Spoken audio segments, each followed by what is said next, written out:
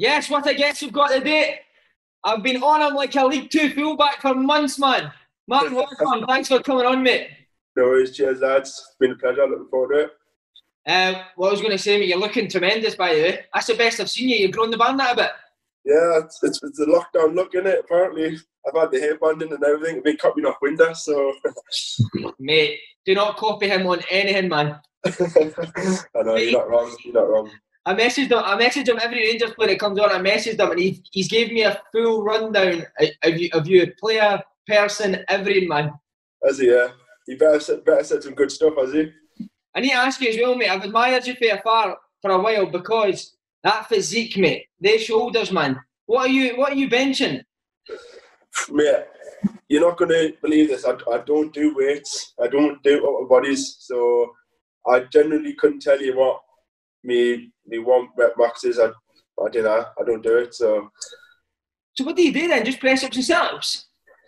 No, no, I just do leg weights to be honest. Like and like like compound moves like leg press, squatting, RDLs, and that just kind of maintains the rest of my body. So I'm, I'm quite fortunate to be honest. Like I can't lie, I get away with it. So.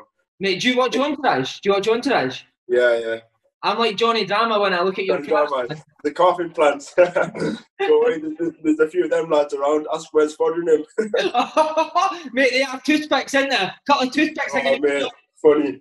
We used to we used to absolutely batter a lot of them. So mate, he hates it as well, doesn't he? Hates it, yeah, man. Hates it. Hates it. Funny man. Uh, like I was going to say as well, mate. Nine million pound man. That's tremendous, by the way. See if somebody yeah. got me for nine million quid, I would be Billy Big Bollocks, man. Nah, I don't be daft, man. It's, football, isn't it? It's the way it's the way it goes. It happens. Fortunate enough to to get myself in that position, do you know what I mean? To, to look after my family and that. So very, very grateful for that for that chance. So can't complain. You've got the shoulders to handle that nine million pound price tag, young man. I'd love you to fling me. So. If I came down to Derby, would you just fling me a boot for a night? Yeah, I, I, I try. Eh? Like I'll give you the best go. Tremendous, right, mate? We'll get on to the career. You're from South Shields. Aye. What was uh, what was upbringing like there? Is it quite rough? Yeah, some places I don't get as wrong like everywhere, but like it's quite a coastal town. So I was fortunate to like have a, a nice beach and that. We used to go up the fair, bit of crack with the lads and have a bit of fun. Do you know what I mean? But where I grew up, it was mainly parks, footy, and um, play, play, play footy with my pals every day, every night, in from school until I heard my mum shout for us for my tea to go back go back home. So that's kind of my upbringing. Potter Council, Council State, group of 10, 12 lads playing footy every night, which was which was good. Did you play football on the beach? Uh, sometimes. The, Mate, that's right. That's where you got the calves, man. That's where you got the calves. I think that's where I got my touch from. Bouncing everywhere. Tremendous. Um, so when did Sunderland pick you up? Was it just playing for a local boys club? Yeah, so my, my dad managed a, a local team in, in South Shields. It was, it was Boldon, Boldon Colts it was. And, uh, I played from them for when I was six year old, seven. And then I got picked up by by Sunderland when I was seven, ten and eight year old and kind of never looked back really. It was it was local for me. It was it was a great opportunity and yeah, it was, it was, it was a good chance to go and play football at a, at a better level. Mate, I always wondered this. Like, see when a, a player plays under his dad, was he yeah. was the team instructions just to pass the bottom Martyn? Yeah, pretty much kicking to me. I used to, I used to, believe it or not, I used to be quite quite fast back in the day. So just kicking them behind, get on the end of it, and sticking them in the back of the net was kind of the the, the team motto back then. So it was good. It was good fun, nice and easy. he quite hard on you, your dad? Ah, uh, he's quite quite tough. Like on a match day, you'd be all right with us. But as soon as I would get told that was that wasn't good enough, this wasn't good enough, and straight in the garden, practicing on more stuff. What a chance I'd missed or something I'd done wrong in the game, back in the garden when I got home and, and on it. So it was it was good. We, we, we, bonded a lot like that. We had a we had a big garden, fortunate enough, and he, he taught us a lot of a lot of the stuff that I, I know today. So yeah, grateful for, for the, the chance he gave us. And see on that as well, you said that you went into Sunderland Academy at seven or eight. Like there's a lot of talk up here if that's a good or a bad thing going into academy that young. Do you think yeah. it helped you as a kid? Um, I think it helped us back then. Yeah, I, I, I do. But now going forward, listen, my boys in in the like the, the early stages of the Derby Academy, and it's great. It gives them a platform to, to better his skills and, and develop his technique, whatever. But I do think there's a time and place of, of how early you do get kids in academies because it's it's long, it's it's it's tough, and you know you know what it's like. Football's football's a tough industry to get in. And I think the earlier you start, you could maybe lose sight and lose track of the end goal if you've been in there for a while, and you get kids come in 14, 15, hungry and ready to go, and they progress really quick because they, they, they, they missed out on all that progression. Mm-hmm. When I think some kids can get comfortable in the environment now, so I think it's a I think it's a toss up of how how young and how early you do get into it and how much you you're willing to progress your child and push your child going forward. Right, be honest, were you a Sunderland fan? I was a Sunderland fan, yeah. I was I was a United fan, a Man United fan and a Sunderland fan. It's funny enough, but before I got signed for Sunderland, I used to be at like a, a, a Man United School of Excellence kind of thing. It was basically just like a a sideshow event of a Man United academy, and it was based in Sunderland. I used to go there like twice a twice a week. And uh, I, I, managed to go to the old Man United training ground. I met all the the legends, Michael, Beckham, Giggs, all them lot, watched them train, into, um, autographs afterwards. And that's kind of how I got to be a United fan. Um, then I joined Sunderland and kind of that dream disappeared. oh, please tell me, please tell me that Kevin Kyle was not your hero growing up. No, I, I, obviously I, I, played played under him. Like I, I was a youth team player back then. I, I trained with him a few times. I actually cleaned Kevin Kyle's boots for, for a period of time. No way, man. Yeah, yeah so. Dog shit all over him? nah, there, there's a few headers. I think he, I think he had his feet on his head at some point. yeah, but, how, was, how was Kevin with the young boys, man? He was all right, you know. He, he, he gave him a bit of stick in that as, as they all did back then. Um, but I actually, I got on I got on well with him. He, he was a he's a good lad, and he he done actually well for Sunderland during that period of time that we we needed we needed to win games and get where to where we need to be. So he's, he's actually a good player for him. Oh, be honest, I bet you hundred percent he's a shite tipper. He's tight as crap, man. Was he? I, I didn't I didn't know him back then. I was I was too young to, to like get to know him on that kind of level. But but did he give you a few quid for cleaning his boots? No, no chance. I, I think looking back now, I, I, probably got done over. To be honest, I probably got a high five or a handshake or an old T-shirt that he had. but no, nah, I, I, I, didn't get I didn't get looked after like that, unfortunately. Amazing. Uh, Academy days are the best, mate. What was it like uh, at Sunderland? But it was Kevin Ball a coach in there because he's yeah. like renowned for being a tough, tough guy. Was oh, he like that with the young boys? Yeah, it was class. It was, it was unbelievable pace to. We, we were fortunate we had the, the, the, brand new academy built in 2003 I think it was. So it was, back then it was probably one of the better academies in the whole of the whole of Europe apparently. And um, to play under somebody like him took no nonsense. I remember going to the first team a couple of times come back down. He's like I don't care who you are you've not made it yet you're back with the boys now you, you, you go after again. And he gave a real fundamentals and, and playing for a team and playing for um, a group of lads willing to work for each other day in day out. And honestly, mate, it was class. We had we had such a good team, so many good laughs, and yeah, it was it was brilliant. Probably one of the, the best days. And I was fortunate to, to to be in that academy. Like I know some people find it difficult at times living away from family or whatever, but I was fortunate with the group of lads we had. It was it was good crack. With Kevin with Kevin Ball like first team players? Like would he go through you even at a young age? Oh mate, you'd smash her. You'd absolutely nail her. Like I remember, I remember one of the boys. He played, he, he, he scored a wonder goal first minutes of the game. Right, right, this right back runs down the wing, stanches it, top bins, runs away, starts celebrating all this, and Body's like, all right, fair enough. Five minutes later, he gives the ball away, misses a tackle, and I think he gives away a foul, leading to another goal. He drags him after 15 minutes. He goes, I don't care how good you think you are, get off my pitch and be crap. oh man, I remember the, I remember this boy just like trudging off like this, thinking, "No, oh, I've just scored a worldie. I'll be dragged ten minutes later." That that's what he's like. He just kept everyone on his toes. He thought, no matter how good you were, just keep your level headed, and once you do, keep going, working hard, and focus on what's what's important. You mentioned there that you were uh, you were up training the first team. I always ask who who was good to be in the first team, and who, who was the ones that were on you constantly. Uh, I always, I always remember Kieran Richardson used to batter the boys. Like being the lads now, we're, we're still talking about how hard he was. I remember going away like my first pre-season away with the first team. So I'm I'm training, doing like a crossing and finishing drill. I'm obviously left footed, crossing the balls. He goes, Waggy. He goes, Yeah, Kieran. He goes, What foot are you? I goes, but lefty goes, well, start using it then. I'm thinking, oh God, he's he's dug us out in front of the whole team, the coach and stuff. I'm thinking, he's on me, yeah. So the next ball, I miss front post. Next one, I kick out a play. He goes, Maggie, get yourself on the right side. You might be better with your right foot. and he, he was just one of them. Like, just I'm guessing his level of demands from being at United, you just wanted players to just raise raise the game and yeah, he was he, he was quite difficult to try and impress. But he had players like um, Paul McShane got on really well with Andy. The Shermanator, the Shermanator, yeah, he's, he's, a good lad. Um, and just, uh, I think if pe- people, a lot of the team were, were, good with you if you worked hard. I think that's kind of what Roy Keane at that time installed in the team. Like, if you willing to work, graft for each other, then you would you would get on fine. And we were we were technically all right players. I remember some kids coming up and just being way off it and never never seen again.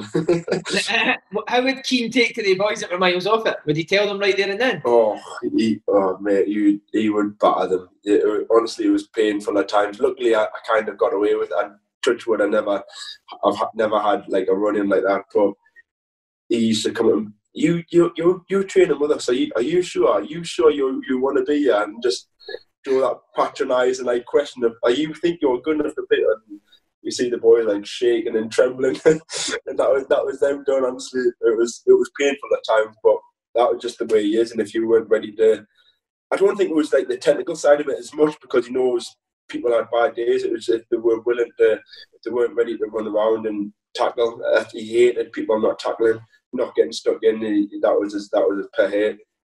See, see, see how you said he was like that with younger boys as well. Would he be like that the first team, like the best players in the team as well, or would he, would yeah. they just keep it a leave it?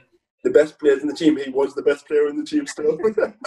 you join you join in training and like top boxes, passing passing drills, games, and everything. You'd still run the show because he, he what he was only what maybe two three years being done. Then he was still he was still right at it, hungry. Smashing the lads, he, oh, it, it, it was funny. Oh, maybe being a young kid, I'm thinking the manager's nailing the boys here. Like, what do we do? So he, he just loved it. If, and if you laid one on him or smashed one the first team that was like extra points. You were, you were playing at the weekend. would, uh, would any of the boys ever give him a go back? Oh, everyone fights a lot. Kavanagh, Graham Kavanagh, give him, used to give him an order stick. I, I remember playing a Resi game once, and um, I, unfortunately, I was I wasn't playing. We, we got absolutely battered off a local team, and um, he's called. He wasn't even at the game. He called her back with the academy after the game. It was like ten o'clock at night in the meeting room. Just I remember him just going through all the team saying, "Oh, this is crap," and I remember Kavanagh saying, "Oh, listen, it's one of them games." So like, it wasn't ideal. Boys were off at one blah blah. And him and Cav going face to face with each other. It was, and as like as a young kid again, then sitting on thinking, "Am I ready for this? I'm going to get knocked out by the manager if I don't if I don't perform." So it, it, it was fun. You uh, he gave you your debut, though. Uh, did, could you tell he liked you quite quickly? Yeah, I, I always remember Bo, like Kevin Ball said, it was like the gaffer likes the way way you play. You you, you give 100 percent to the team. You work hard. You're. I, I developed quite quick that season. So I, I, the first year scholarship, I was quite normal size, if, if that's what you're saying. Then the second year, I come back.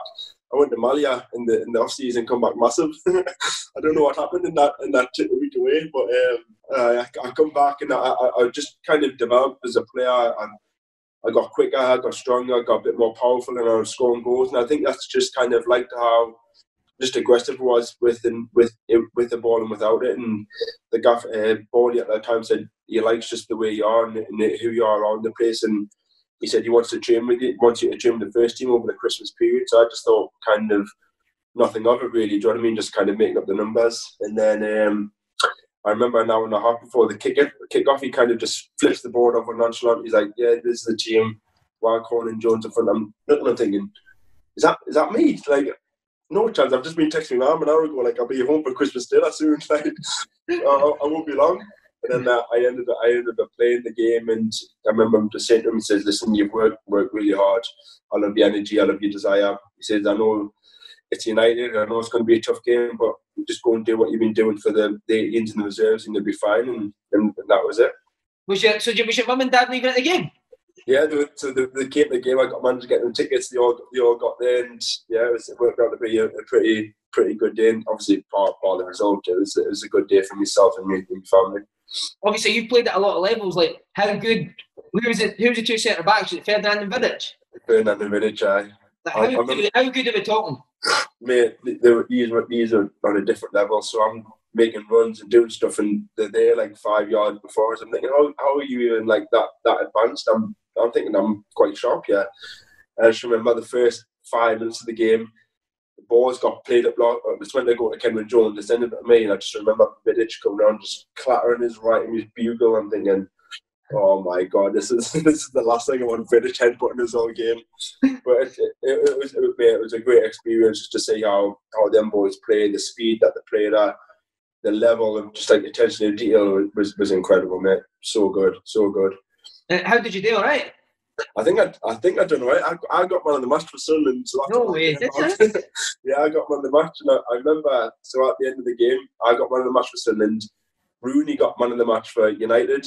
So I'm I'm in the like, um, the press room upstairs waiting to do the speech, and I, I go to Rooney. I go, oh, "Thanks, thanks for that idea, Rooney." He's looking at us thinking, "What's this geezer on?" I was like, "You just got his 45 points from your fantasy team." I think I think I think he scored. He got two assists or something. So he got his load of points. So I was buzzing. He'd be captain.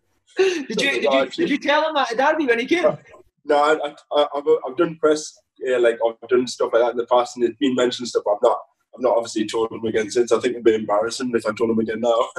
Amazing, man. Uh, what did Keane say after the game? Did he like praise you in the dressing room and that? No, he just he pulled. No, after the game, he was, he, Keano was a he was a, he was a write off. You, you, you can't have a chat with the gaff after the game. It's it's it's not happening. So you you just waited a couple of days later and said, listen. Bar the result, you were you were brilliant. You, you worked your nuts off. I was I played up front. I went to left wing. He says you, you done everything I asked for you, so I appreciate that. And keep your head down. But I remember playing that game. The next day I had off. The Monday I was back training with the under 18s. Kevin Ball was like, I don't care what you've done yet, you're back with me now. So I was training with them again. So and you enjoy. I, I, loved it. It was classy. He kept us on his toes. He pushed and it kind of made us the type of player I am now. Do you know what I mean? Just try and keep my head on the ground at all times and keep working hard. What's the, what's, can you remember the worst you've ever seen him go? Yeah, I, I remember. I think that we might be we might be in away to, to Blackburn. I was on the bench. Was it Black? Yeah, and I, I think we're losing one 0 half time. He comes in. He, there's this there's this um, tactics board in the, in the middle of the room, and mate, it gets volleyed so far across the dressing room. He just lays at everyone. You've got like people like sitting like this, hands down. He comes up, smacks the hand round. The hands are falling like this. He, he just completely gone. And but he's slapped boys no, so like it's like the lads sit there, so he slaps the hand away, so like the arm's falling there. And I'm just thinking, I'm, I'm sitting there, please don't come for me. I'm, I'm on the bench hoping that he doesn't come for me. That's how bad it's getting. The lads are like hiding from drinks bottles and stuff flying everywhere. But it, it was just it was just pure passion, and I'm yeah. thinking, I'm looking there thinking, I love this. Like it's it's mm-hmm. class. Do you know I mean? Like this is what I, I like. I want I want to win. I want to win games, and he just pure raw emotion and wanted the best from everybody. And if they weren't up to it, he, was, he wasn't frightened to tell you. And I think that's kind of how I was taught with Kevin Ball, Ball leading to Roy Keane. And they were kind of the same, same look, just loved winning, loved winning games. That's the way a youth team manager should be in it. Get you ready for the first team, mate. Oh man, it, it, was it was so important for us. You see, yeah. don't get us wrong. I, I know football's changed, and no academies and the twenty threes and the development's changed. I do get that, but we were going from under 18 football to reserve team football, and you had six or seven players that weren't playing on the weekend coming to the reserve team. One, they might have been injured. Two, they might have been pissed off that they weren't playing. Three, they might have been out of favour, so they were kicking lumps out of you, not happy, running around like they were trying to prove points, trying to get in the team, and like we're young kids having to deal with this, and mm. it just got us ready so so much quicker than what I, I feel the under 23 league does at the minute. We're playing first team footballers at 17, 18 year old, and it was, it was massive for our development. Uh, sorry to keep going on but I'm just obsessed with Roy Keane. But like, yeah. see when like Dwight Yorke and Andy Cole that came, and yeah, teammates, yeah. would, he, would he be friendly with them, or would he hammer them as well? No, he, he would hammer everyone. He, honestly, he was he wasn't bothered, and I think Yorke and Cole knew how he was, and they just kind of got on with it. And like I remember them always saying, because I used to do finishing drills with with Yogi and Cody, and they used to be like, whatever you do, just keep your head down, keep working hard because if you let slip once, he'll he'll destroy you and you won't be back up here. So I was kind of fortunate that I had people around us like that that would help us, and there were two two great guys to be honest. I was very fortunate to play with two heroes growing up in mine, watching watching United, and yeah, it was, it was class. And I always kind of when I made when I was in the first team, made sure I'd, I'd work me nuts off. I mean, I was I was always the first one out there. Last I know it sounds daft and whatever, but as a young kid, you had to make an impression, and we were a, a, a small group of five, six of us that go from the academy up We would always be first out doing the the babes, the balls, and all that stuff. And he kind of just liked how we were as, as kids, kind of just doing what we needed to do for the team. So um, I think he always appreciated our little little kick that we had. Love that. Did you ever get a night out with him, mate? I, I, nah. my dream, man. Nah, bastard. Because yeah, Yorke's, Yorke's meant to love it, isn't he? Yeah, apparently so, I. But, but yeah, I remember, I remember one, me and one of the other lads going on like, um, it might have been before the, the, the my debut. We went like to like a warm weather training camp, whatever, for four or five days, and um, all the lads went on a night out. But we had to, we were only seventeen. We had to come back before ten o'clock or whatever. We're like itching to stay out. All the lads saying, "No, stay out. Come on, we'll be fine." we got like one then, but uh, look, lads, you know how we, we've got your back and all this, and thinking, would we be all right? Yeah, but if I, I knew fine well walking in at 10 o'clock when we came to Saturday, and I'm thinking, I'm so glad we came back now because it could have been it could have been a whole lot worse. he was he sitting waiting for you coming back? Again? Yeah, like the, the, well, the staff were just kind of having a drink at the bar. Do you know what I mean? I'm thinking if we turned up at like one in the morning. I mean, I also think you maybe would have buzzed off you a wee bit if you if you brought it. looking back, I think you probably would have like appreciated like the banter side of it, but there and then you're probably thinking as a 17 year old kid, you don't want to start doing it out out after. You know what I mean? Last question on him because we've had a few ex Sunderland boys that played under him on it, and they've said if you're late, you're done, man. he hated it. Punctu- like punctuality, he was massive. Late for meetings, on the training pitch, anything. It, he hated it.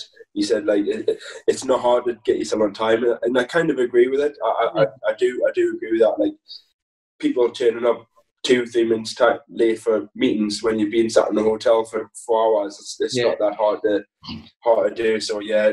Was there anyone? Was there anyone that would constantly be late? Anthony Stokes. That's what Ross Wallace said. That is uh, every every single meeting Stokes he was late.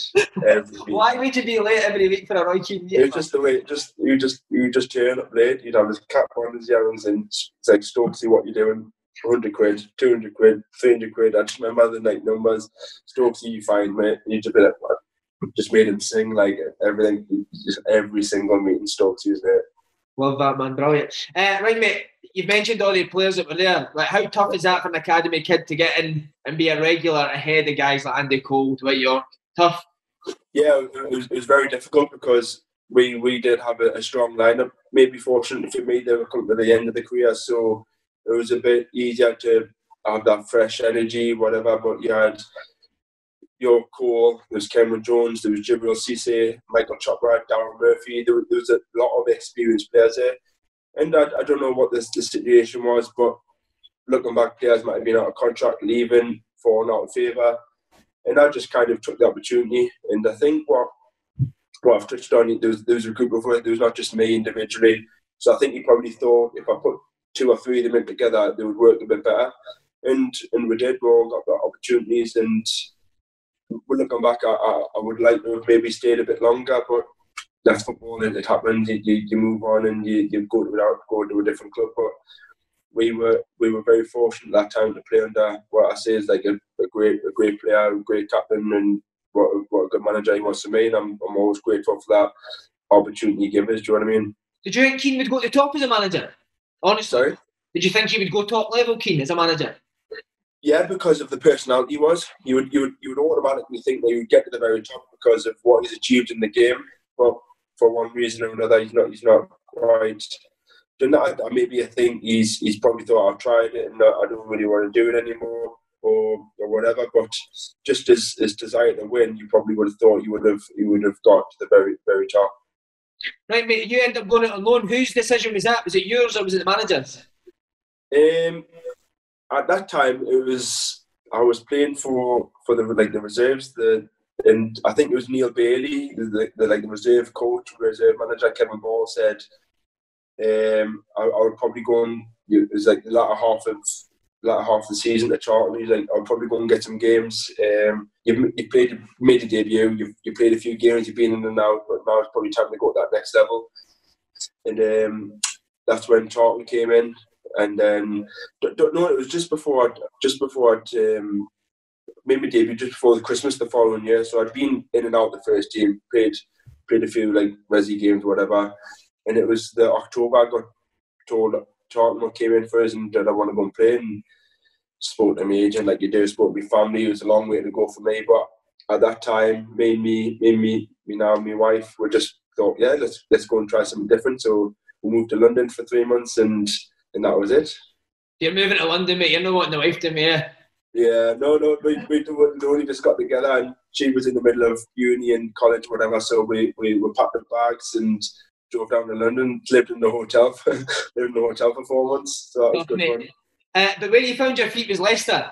What, what was it about Leicester that, that made you play so well there? Um, I think it was the, the, the manager and the, the staff. Do you know what I mean? They, they were very. They knew a lot about my background. They knew who I was. The manager, Nigel Pearson, um, played up in up in the northeast with Middlesbrough. He, he, he had affiliation with Newcastle. Like and Walsh, the the, the scout that scouted us, knew a lot about us, and that made us really feel welcome. Do you know what I mean? They, they knew who I was as like a player. That found out a lot of stuff about how I play.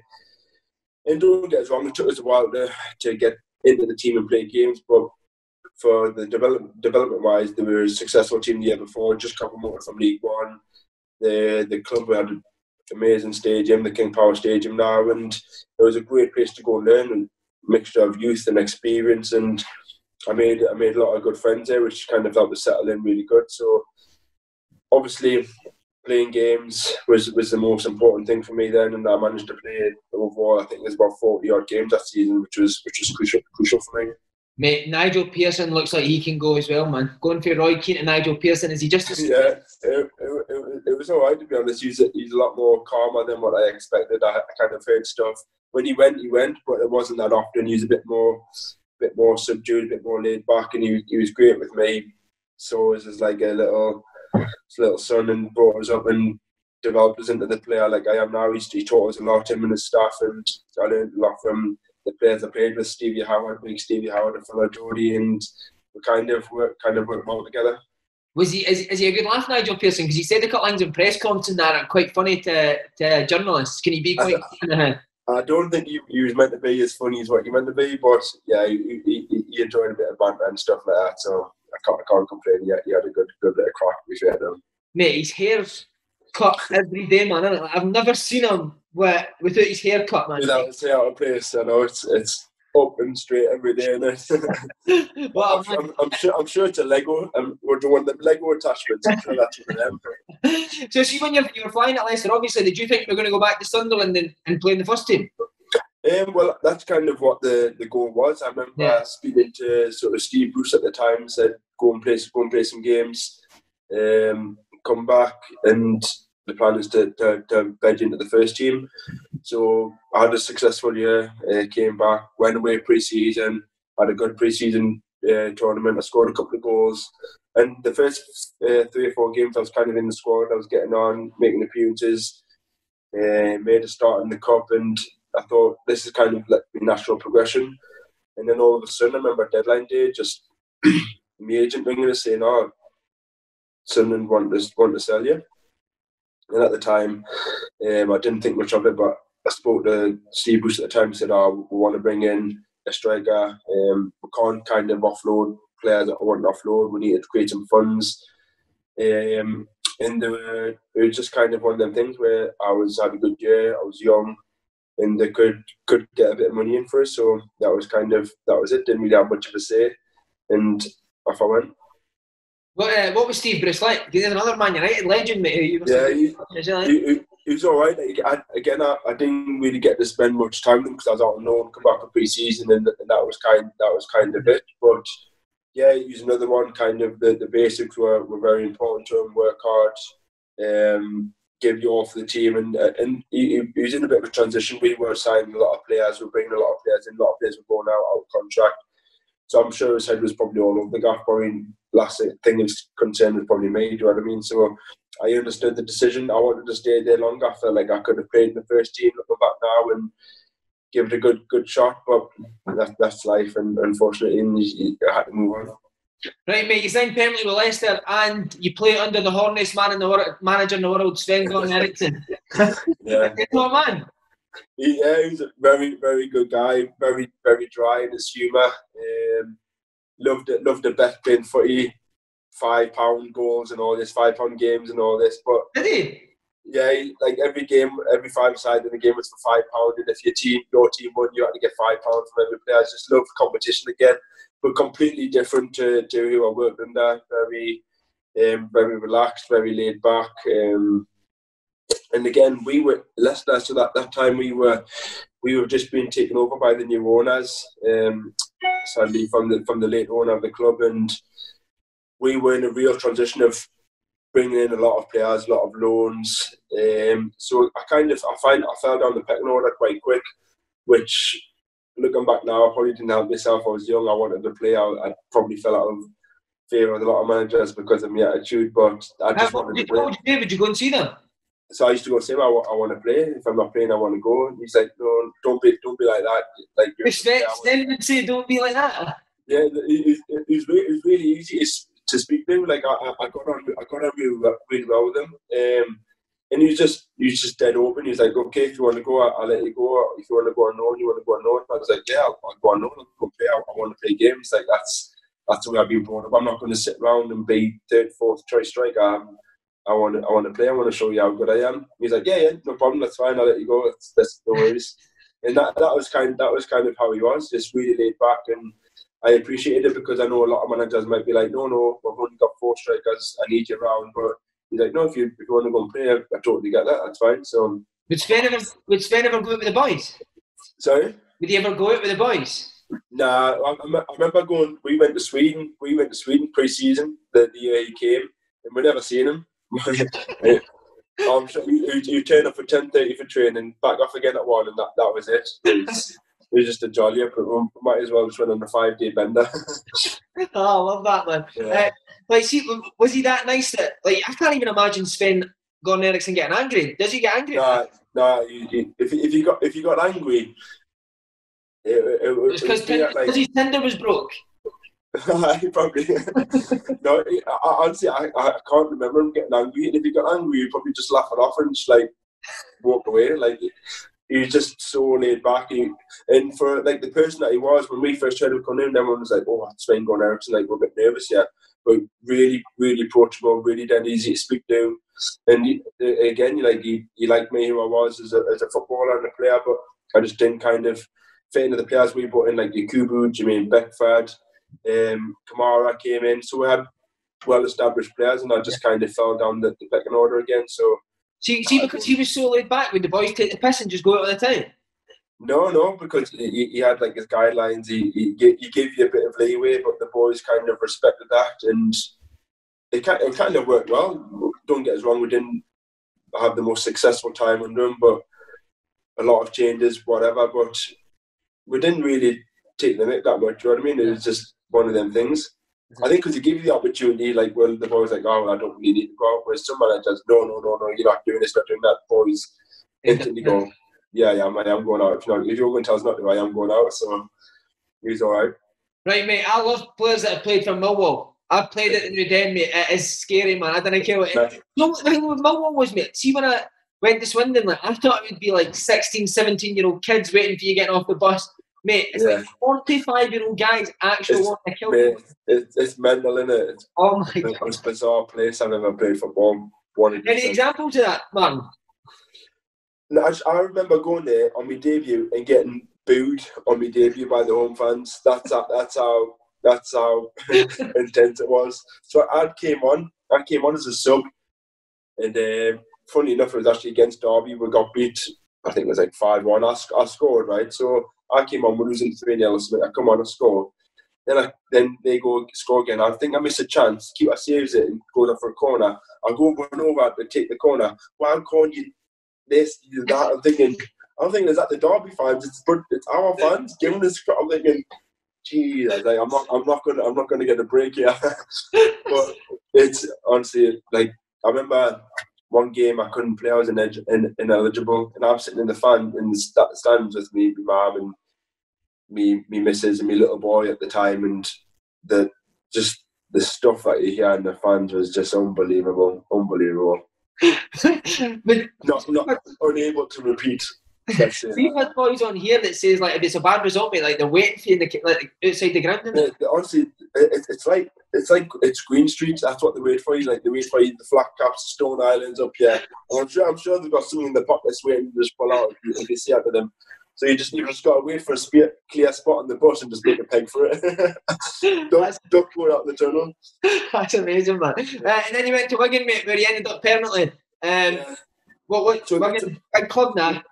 Yeah, I, I enjoyed my time there. So basically, I, I had a short spell at West uh, Millwall. The, the manager left. I went back, and then I heard Wigan came in. The, the, the manager Uwe Rosler. Um, I've heard he's a bit different as well. Rosler, is he? Uh, he he's, he's another one. I, honestly, I, I don't know how I've survived in football. I've played under some crackers. um, he, he's one of these. he's um, we used to do shape right. He used to have this ball in under his arm. He set the ball. He used to like sprint to a position so like you want to like shuffle in shape and that. And he's sprinting, and the lads are like looking at each other, and you'd ask like random people questions, and obviously the people didn't have a clue what the lads didn't have a clue what was going on, so they just have to say random stuff. And he was just he, he, he was just some character, most animated guy I've met in football, up and down touch lines, the demands I just remember one pre-season we went on a, a rec- we played a game. We went on a recovery bike ride. I turned into about a 30k sprint. I think we got beat. So we like we, we, we pedaled out X amount of distance, right? And we got the, the turning point. He goes, "Do you think that's good enough?" And all the lads, the lads are having like ice lollies and, and sweets at the back. And we're going, "Not, not good enough. Not good enough. Fizzy pop, crisp. No, no, no." He's like, "I want you to sprint back." So we're on these bikes we're, honestly, recovery day, we're done for. One of the lads didn't know how to change gears on his bike. he's going uphill, like he's almost going backwards, he's going that slow. He must be thinking, what on earth have I got here? Like, what am I doing? yeah, I, I played against him when he was at Brentford, and we, yeah. at Brentford, the, the changing rooms are right across each other. No, Mate, no, right, right half time. We just used to sit and listen to him going absolutely mental at Brentford players, man. No, he's not changed. He's not changed. He was, he was an absolute character. Did you ever get it off him? Did he ever slaughter you? Um, yeah, yeah. Once we played, um, we played Burton in the cup, and um, we got we got beat. They were obviously in League One. We were we were in the Championship, and we got beat. And he goes, Waggy, what was that? And he goes, Oh, listen, like, I, I was crap, yeah, I apologise, lad, sorry. He goes, No, like, unacceptable. You're coming in your fancy cars and your Maseratis. No, no, no, no, no, not for me, not for me. And he's in his proper just digging it out and he just goes on this big rant. And he goes on to one of the other lads, and one of the lads just get, had a crop day at the back and he starts going, You need to go home and cry to your mama and all.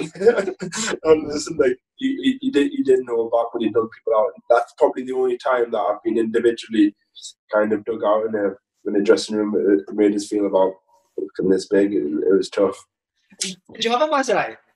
I did have one, I, I did. Oh, amazing. Why not? It was crap. It was rubbish. Rubbish car. Uh, mate, I watched him. He was on. Uh, he was on against Bayern. Was it Borussia Dortmund the other day? Did you see, did you see him at the end with the last? He started cooling his coach. yeah, that's kind of. Do you know what it was? He was, he was, if his team, he's one of them. If his team played well, outrun the opposition, and they lost, he'd be like, I can't really know that much about that. Sometimes he just got better players, but he's one of these. If he didn't, if he didn't run around, he, he would absolutely batter you. Mm. What were the standing batter boys during the game? Yeah, yeah. You you drag people off after 20, 30 minutes. Not an issue. Not a problem. Off you come. That's you done. And you, you, you, you like, see boys in the championship, do they not crack up, up when uh, after twenty minutes? So, some lads do. It just depends if you're willing to like t- take the fine, really. if you're willing to, if you're willing to have a scrap the gaffer. But he was nuts. He would probably knock you out on him. Amazing man. Also played under Malky Mackay and Gary Caldwell, yeah. obviously Scottish guys. Uh, how yeah. are they? Um, under Malky, I kind of got my chance to, to play. We, we were through a bit of a period again. He came in, but I, I just got injured when he came in. I, I done me, uh, I done my AC joint in my shoulder, so I need to have an operation. Uh, I was out for a while. Um, I didn't have that operation at that point. I missed about three months rehab. Came back, played a few games under him, and come back in, done, done alright. But we were we were really struggling that year. We were phony, we were losing games. We had a lot of loans again. Um, and we were down scrapping down the bottom of the league, and it wasn't wasn't ideal. Um, he then got sacked, and, and Gaz came in, and he was kind of left in a situation where he's got to pick up the pieces from from the year. Do you know what I mean? He was, he was struggling. We were down. We were almost relegated when he came in, and the last few games we, we, got relegated. Unfortunately, it was, it was a tough year physically and mentally because we weren't winning games. It wasn't nice. Change of manager, in and out of the team, injuries, and um, yeah, it wasn't it wasn't ideal. This is off script, mate, but just going on like the managers now, you've played for some crazy ones. What about players wise? Like, who, has been the, the funniest kind of maddest player that you played up until that before you went to Rangers? Uh, um, the maddest player I probably played with Sol Bamba was funny. He, he was he was a good laugh. At Leicester, I was with him at Leicester. James McCarthy, um, Wigan, he was a he's a crackpot. James McLean, obviously speaks for himself. He's crack guys. James, he just. um, there's him and Carl Mack together. They were like two peas in the pod, dumb and dumber. Go them on the training pitch were, were priceless. Just at each other all the time. James, he could just smash anybody at any point for no reason. Um, I'm trying. I'm trying to think who else I've kind of played with. What was that? Sorry, who you saying, mate? I was going to say, I, I, I Millwall, he had um, Big Danny Shittu, who would take no prisoners, uh, Stevie Morison up front. Them were like proper characters, do you know what I mean? Proper Millwall boys. Yeah. Alan, Alan Dunn, the right back. Fordy, the goalkeeper. Oh, against them, they are actual scary guys, man. Dunny and Fordy, I remember we, we were playing Blackburn away. This is this is my last long game, and I'm and I'm sitting there. This is a Millwall, sorry, yeah. This is this is at Millwall, yeah. Sorry, last game, last game before I leave, and we get beaten or then you know it's like everyone starts kicking off, and I remember like you would park Fordy sitting one side, you got like the, the skips in the middle, like with all the treatment stuff on. You just launched. I can't even remember who was fighting with. He just launched across the skips, and then just like a mass 10 player brawl in the middle of the skip. I'm thinking, oh God, and that's kind of how Millwall was as a, as a team and, and, as a club. It just kind of epitomised how, how that club was. So then, then we're, then we're proper crackers, them lot. Was it was so Bamba where Sven? Yeah, it's all Sven, Sol, Sol, Bamba. and what, he just quite vocal in the dressing room in that big Bamba? He was, he was just the, the happiest guy ever. No, no matter what the situation, always had a smile on his face. He just he just loved it, and what what a nice guy he is now. I still speak to him every now and then. He's he's a proper proper good guy. He is. Hey, good on Sky Sports, man. I quite like him. Is, uh, right, Rangers. Uh, what was yeah. it you heard the Rangers' interest? So when I first, when I first heard of it, um, it was it was my agent. He was he knew Mark Warburton from like kind of looking after him from previous deals, whatever. And I knew Mark Warburton through his son Jack, who I used to play with at Leicester. So there's always kind of a connection there. And used to come and watch a few of the games, the Resi games, blah blah blah. And when they kind of showed an interest, obviously I was like, yeah, I don't get us wrong.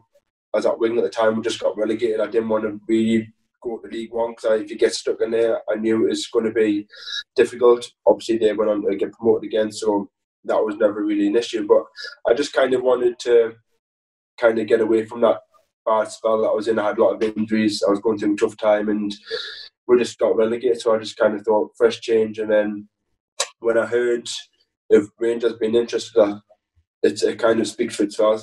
Do you know what I mean? You you know the history of the club. You know the the players that I played for, the the trophies that they've won, what they've been through, and I learned a lot. I learned a lot about the club, um, and then news because I've got family and friends who, who, who, support the team and support the club. So when I support them, it was it was a no brainer. Do you know I mean? It was, it was family like, in Sunderland that supported Rangers. Yeah, I've got I've got loads I've got loads of family that used to go and watch you know watch the games, friends. like family, friends of family used to go and support. Obviously, some Rangers fans are everywhere, aren't they? So you can you, never too far from from meeting a fan. So I used to speak. I used to speak to everyone. Then when I used to speak to friends about going up there, it was it was a no-brainer going to play in front of fifty-five thousand and having the opportunity to go and to win games and win trophies was was unbelievable. I was going to say, mate, you can't drive a Maserati in League One in England, man. You need to trade that for a Corsa or something. I, I did, mate. Fiat 500, I think I went there. uh, did you know much about like the, the troubles that Rangers had been in? Did that, that no bother? Was there a wee worry there? At, at, at the time, obviously, you, you, you hear about on the news, you learn about it, you see it. And I didn't really kind of grasp the situation that we're in um, until you go up there and you kind of you see the history. I I, I, I tried to, I tried to learn as much as I could about it. I used to read up on the history, what they went through, what they'd been through, and I kind of felt it was an opportunity to get the club back the way it needed to be. And I the manager. Um, I remember driving from Newcastle to, to Scotland to go and meet them just because I was kind of that desperate to kind of go and play there and, and, and, get the get the deal done. Do you know what I mean? I was I was hungry to go and play for the club, and um, I think that kind of helped getting used to the area. I drove around and going to see the stadium. There's when someone up there, I was like, yeah, to me, Jim, like I need to get this done. I need to go. So. Where did you meet Mark Warburton? I like stories like this. Where did you meet him? Did you go for food? Met, met him in the hotel in, in Scotland. Um, what's that one on um, Joe by? I'm trying to think. I'm trying to think to explain it. It's, it's do you know just. No, it, would, it would, probably would have been back then, but no. I try to think, you know. Is that the West End? Yeah, Joe, you come through the West End before you go down there. What's the, the, the Byres Road? Byres Road, yeah. The the, main, the main, like the, the posh the posh one on the corner. I forgot yeah. what it's called there. Uh, I met, I yeah, I met, I met him and David Weir there, and um, I had a chat with him and had a, co- a coffee with him, and kind of uh, explained how they were going to go and play football and how they were going to do it, how they were restructuring the club. Rob Kiernan had just signed from from Wigan, who we knew. Um, as well, wasn't he? Tavernier was good at the same time. Yeah, the, the, the main main Tav signed at the same time, and just kind of how he, he, he came across and how he's going to play football and how he was going to play. It was it was a no brainer. I wanted to get up there and I wanted to play games and, and try and try and get promoted and, and win trophies. See, uh, he, we've had him on here, Mark Warburton. He is quite impressive when you when you speak to him, isn't he?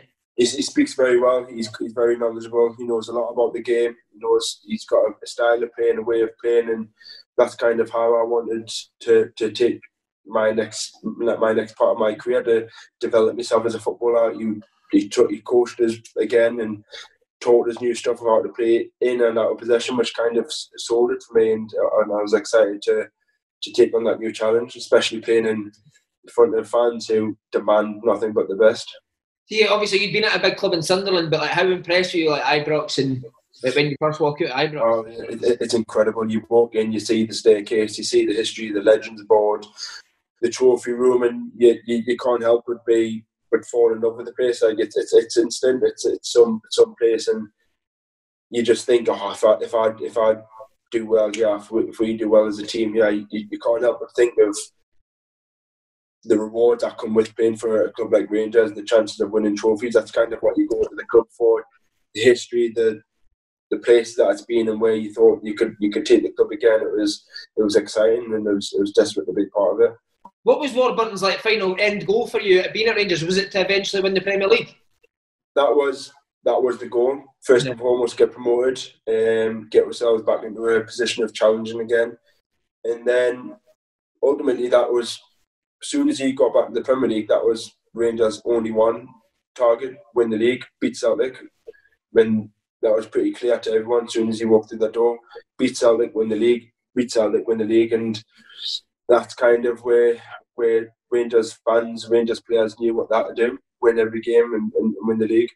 See, just on one button, like as I say, he's impressive, but he's quite serious, isn't he? Could you still get a laugh from him as well? Would you have a laugh at it? Um, not not not so much a laugh. No, you, yeah. was, I think if you, you, had a bit of banter, it was it was very like dry banter. It wasn't like take the piss banter. If that makes sense. Do you know I mean it was just quite jokey, jokey, laughy, laughing. It was that's kind of where it went. Whereas David Weir, he, would had all the all the history and all the knowledge of the club. You can have a bit banter with Davy and tell you some stories and stuff like that, which was which was for us coming from England, not knowing the place, it was good to kind of know a bit about the club and and find stuff out, which was which was nice. Uh, I want to ask you, number thirty-three. Why, why that? Yeah, thirty-three was, it was it was a weird weird time. So I just signed for for Wigan. I got thirty-three. Uh, I bought a, bought a house in in Sunderland where I was from, door number 33, the postcode was 33.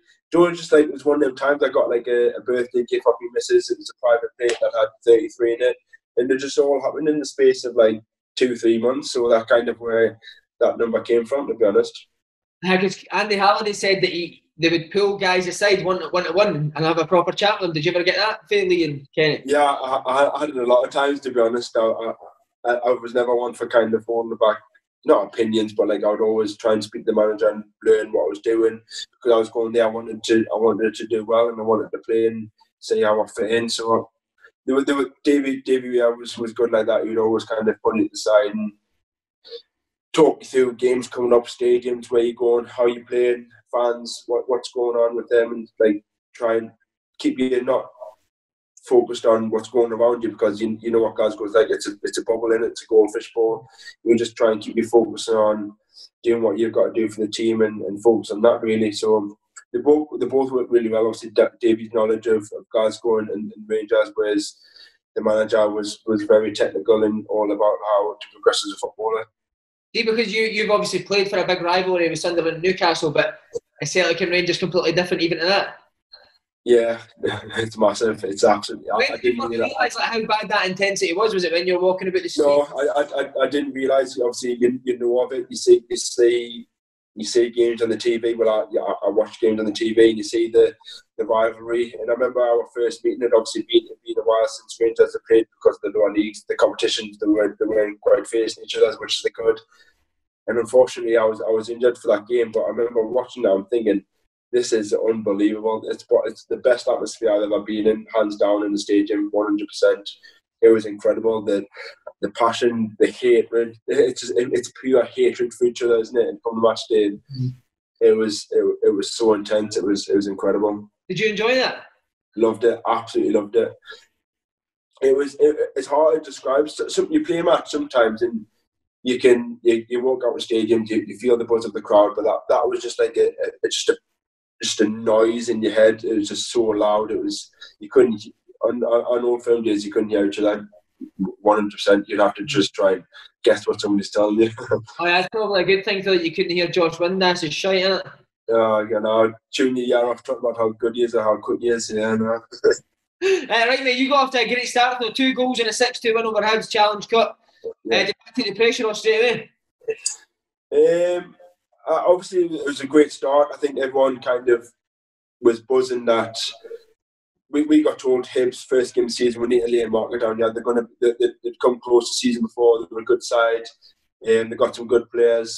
We need to lay a marker down. Yeah, and the way we started, I think they weren't ready for how we were as a team. We, we pressed them, we, we played them off the park. We we, we conceded an early goal, um, which didn't help. But the way the way we played was was a joke, and uh, I, I remember thinking like we've we've got a good chance if this is our our competition this year. Then if we can keep up this level of standard and keep playing like this, then we'll, we'll do all right. You know what I mean? So to get off on the front foot with two goals for me, especially at a club like Rangers as a striker, you judged on you judged on goals, and for me that was the ideal start. Feel outside looking in that year, it always seemed like it was a bit of needle between you and Hibs? Was it? Was yeah, it... there was. Yeah, I think that was kind of the, the, the main rivalry, wasn't it, between between the league? Obviously, I, I, I, don't know what it was. Obviously, the year before, apparently the, a lot of stuff had kicked off in, in, in a final or, or, a cup or something, and I, this that kind of boiled over to this year. And don't get us wrong, I, I, I love beating them to, at their place as well. First game of the season for me, it was it was nice. I, I enjoyed it. And so that year he's a flying mate. Like, how good is it being a, a, Rangers player at that time when everything's going well? You're, you're treated like a king yeah. in Glasgow, aren't you? Yeah, no, it, it, it was brilliant. Um, loved it, playing games, winning games, and so I, I, I loved, I loved how a win wasn't good enough. Like it, it could always been three 0 If it wasn't three 0 it should have been four 0 If it wasn't four 0 it was five 0 And at the time winning games, I'm thinking, yeah, you're right. Like it brought me up to demand more of myself. Do you know what I mean? I was thinking, yeah, I should have got two there. I should have got the hat there. I should have. And I was disappointed come off the game. And I think ultimately, like being that disappointed that often not scoring more or not winning by more kind of had a negative effect And us. It started having an adverse effect coming off being we're winning games and we're scoring goals.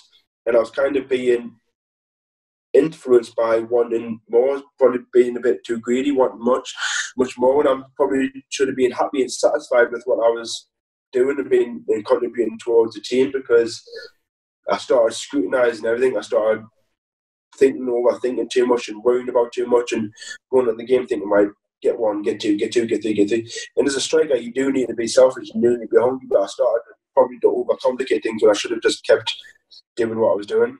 Why do you think that was? Just because of the size of the like the crowd and I think, yeah, I, th- I think it's just the demands of the club, wasn't it? The club just you just want the need to win games and you have to win every game, and and, and I, I love that pressure. I love wanting the fact that I need to win. Yeah, I need to win. I need to score a, a strike. I need to score goals. Yeah, I need to do this. I need to do that. And I think you can start talking yourself into something that you don't really need to do. And is that the first time that in your career, Matt? Yeah, yeah. I, I think I think uh, yeah, definitely because other clubs don't get us wrong. Other clubs I've been at we weren't winning games as easily and as freely as what I was at Rangers. And as a striker, I'm sort of thinking, yeah, I've got I've, I've got an opportunity to score bag, bag full of goals, win this, win that, win this, win this. And it probably should probably got my eye off the ball of what I really need to focus on and just do my job for the team. If I score, great. If not, then as long as the team wins, that's the most important thing. And I just kind of maybe got wrapped up in a bit of I need to score goals here, and probably had an adverse, like I say, I had, an adverse effect on us. Could Mark Warburton sense that in you? Like, would he, would he see that? Um, yeah, he, he, he, we, we always used to talk like, used to, used to think like, I'm getting in front of the goal now, I'm starting to overthink things, or I'm trying to do too much, or I, he always try to make a simplify my game and try to just be free and just play my game the way I, the way he signed us. And it was probably, like you say, probably just me wanting to, because I scored quite a few goals up until my injury, and I just always had targets of like get to the next set, get the get to the next five, get the next five, get the next ten. I probably just started getting probably too carried away with how well as a team we were doing as in, in, individually. That's the thing about playing for like a Celtic or a Rangers. It's it's not just going out and playing on the pitch in your body, mate. It's total mentally as well, isn't it? Yeah, yeah, one hundred percent, one hundred percent. How did you? Sorry, on you go, mate. It's just it's just coping with it's, it's hard as, as much as you try and not let outside influence affect you. It's hard not doing when you got 55,000 fans week in, week out, expecting nothing but the win and, and demanding the very best. And then you go you go out and the, the day, what happened what happened to the day? You should have had five. You should have scored six. You should have scored seven. The team should have won eight. And that's kind of what I think got into my head thinking, yeah, I probably should have got a couple more actually. And then I started going looking over my chances and being like, yeah, I should have done this. Uh, I should have done this next time. And then you come into a game situation, you're probably thinking, right, last time I done this, I should start. And you start basically start overcomplicating everything, and, it's, and it's tough to try to get out of that when you you're expecting certain demands of yourself. How often would that happen? People come up to you in the street when you're living in Glasgow. every day, every other day.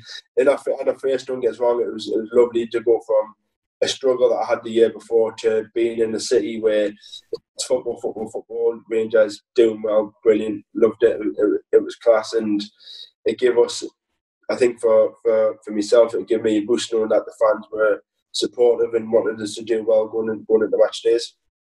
Would you ever go like, oh come on, mate, I'm flying here, man. Just give us two minutes, give us peace for two seconds, man. It's it's hard not to because the normally in groups of five and six. So if one's one's finished, the other one's having to go at you from all from all from all different angles. And he might have been Kennedy, but the three behind you might be calling you also. Do you know I mean?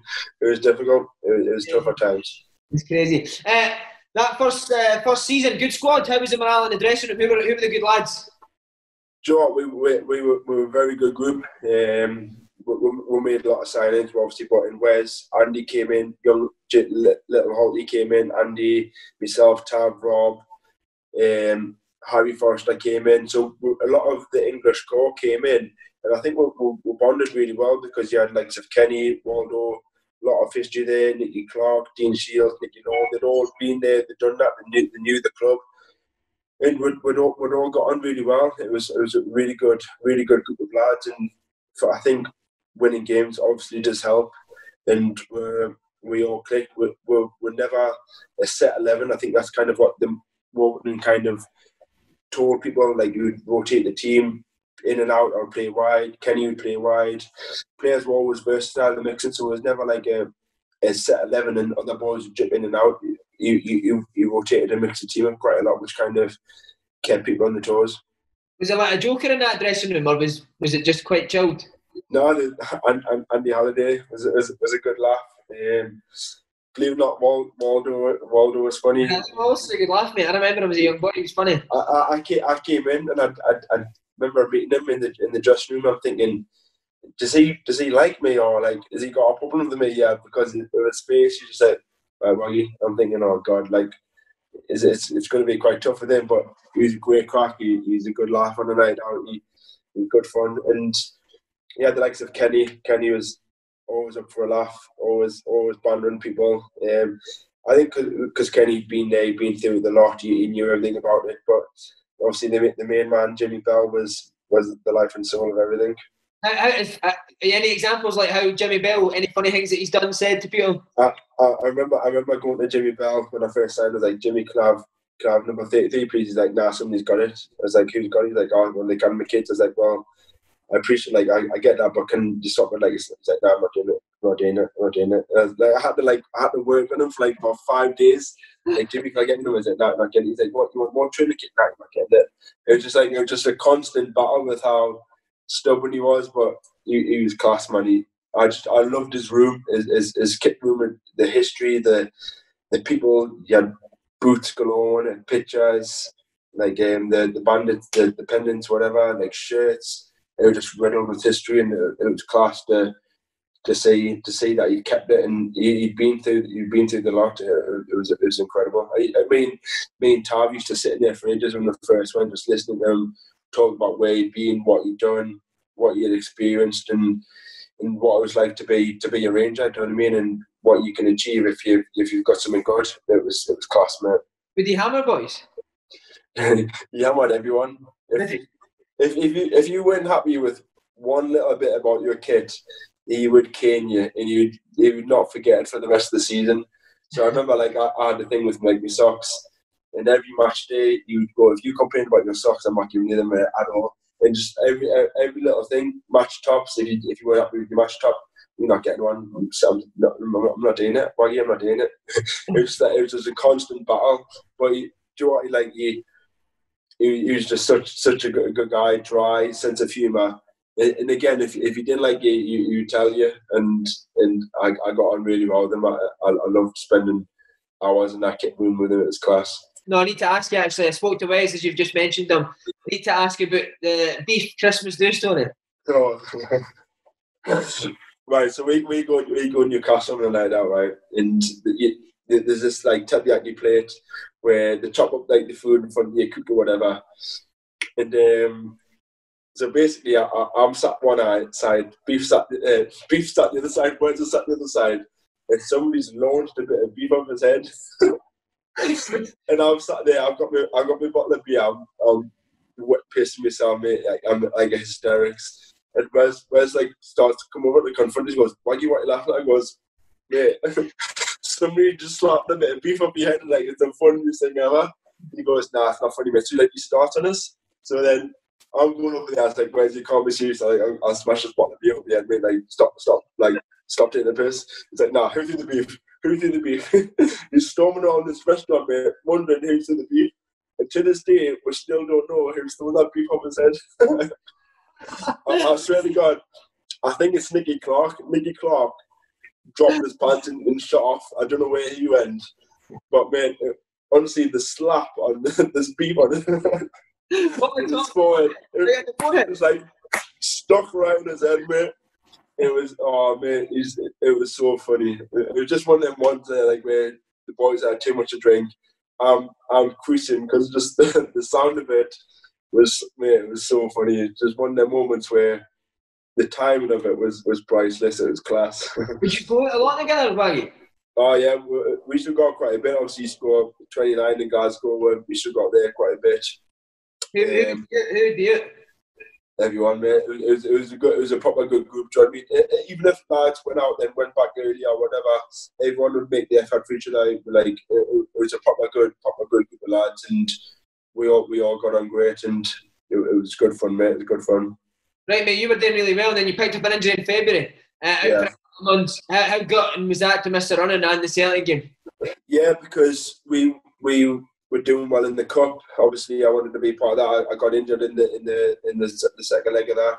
Um, yeah, it was, it was, really disappointing because I, I just got back playing and I thought not another long term injury from from when I done my shoulder. It was, it was, the last thing I wanted. So to miss two or three months and then we won games, we got through the next round, We'll be Dundee in the next round. I'm thinking the semi the semis coming up here, like I I need to get fit for this. So that was always my target. I need to get fit for the semis. Need to get fit for the semis and looking back, obviously now I was probably just like a couple of weeks away from it. Um, but it was it was very difficult at that time because the lads were, were still winning games. They got the the Track final, they won that. I missed that final. I missed the semi final result against Celtic, and that's kind of what I was I was there to do. I was there to play finals. I was there to play against Celtic, and to miss those two was really it was really disappointing because I felt like I'd kind of built up a a good bit of form in the season, scoring goals, playing well. The team was doing well, and they missed two big games like that was was, was disappointing.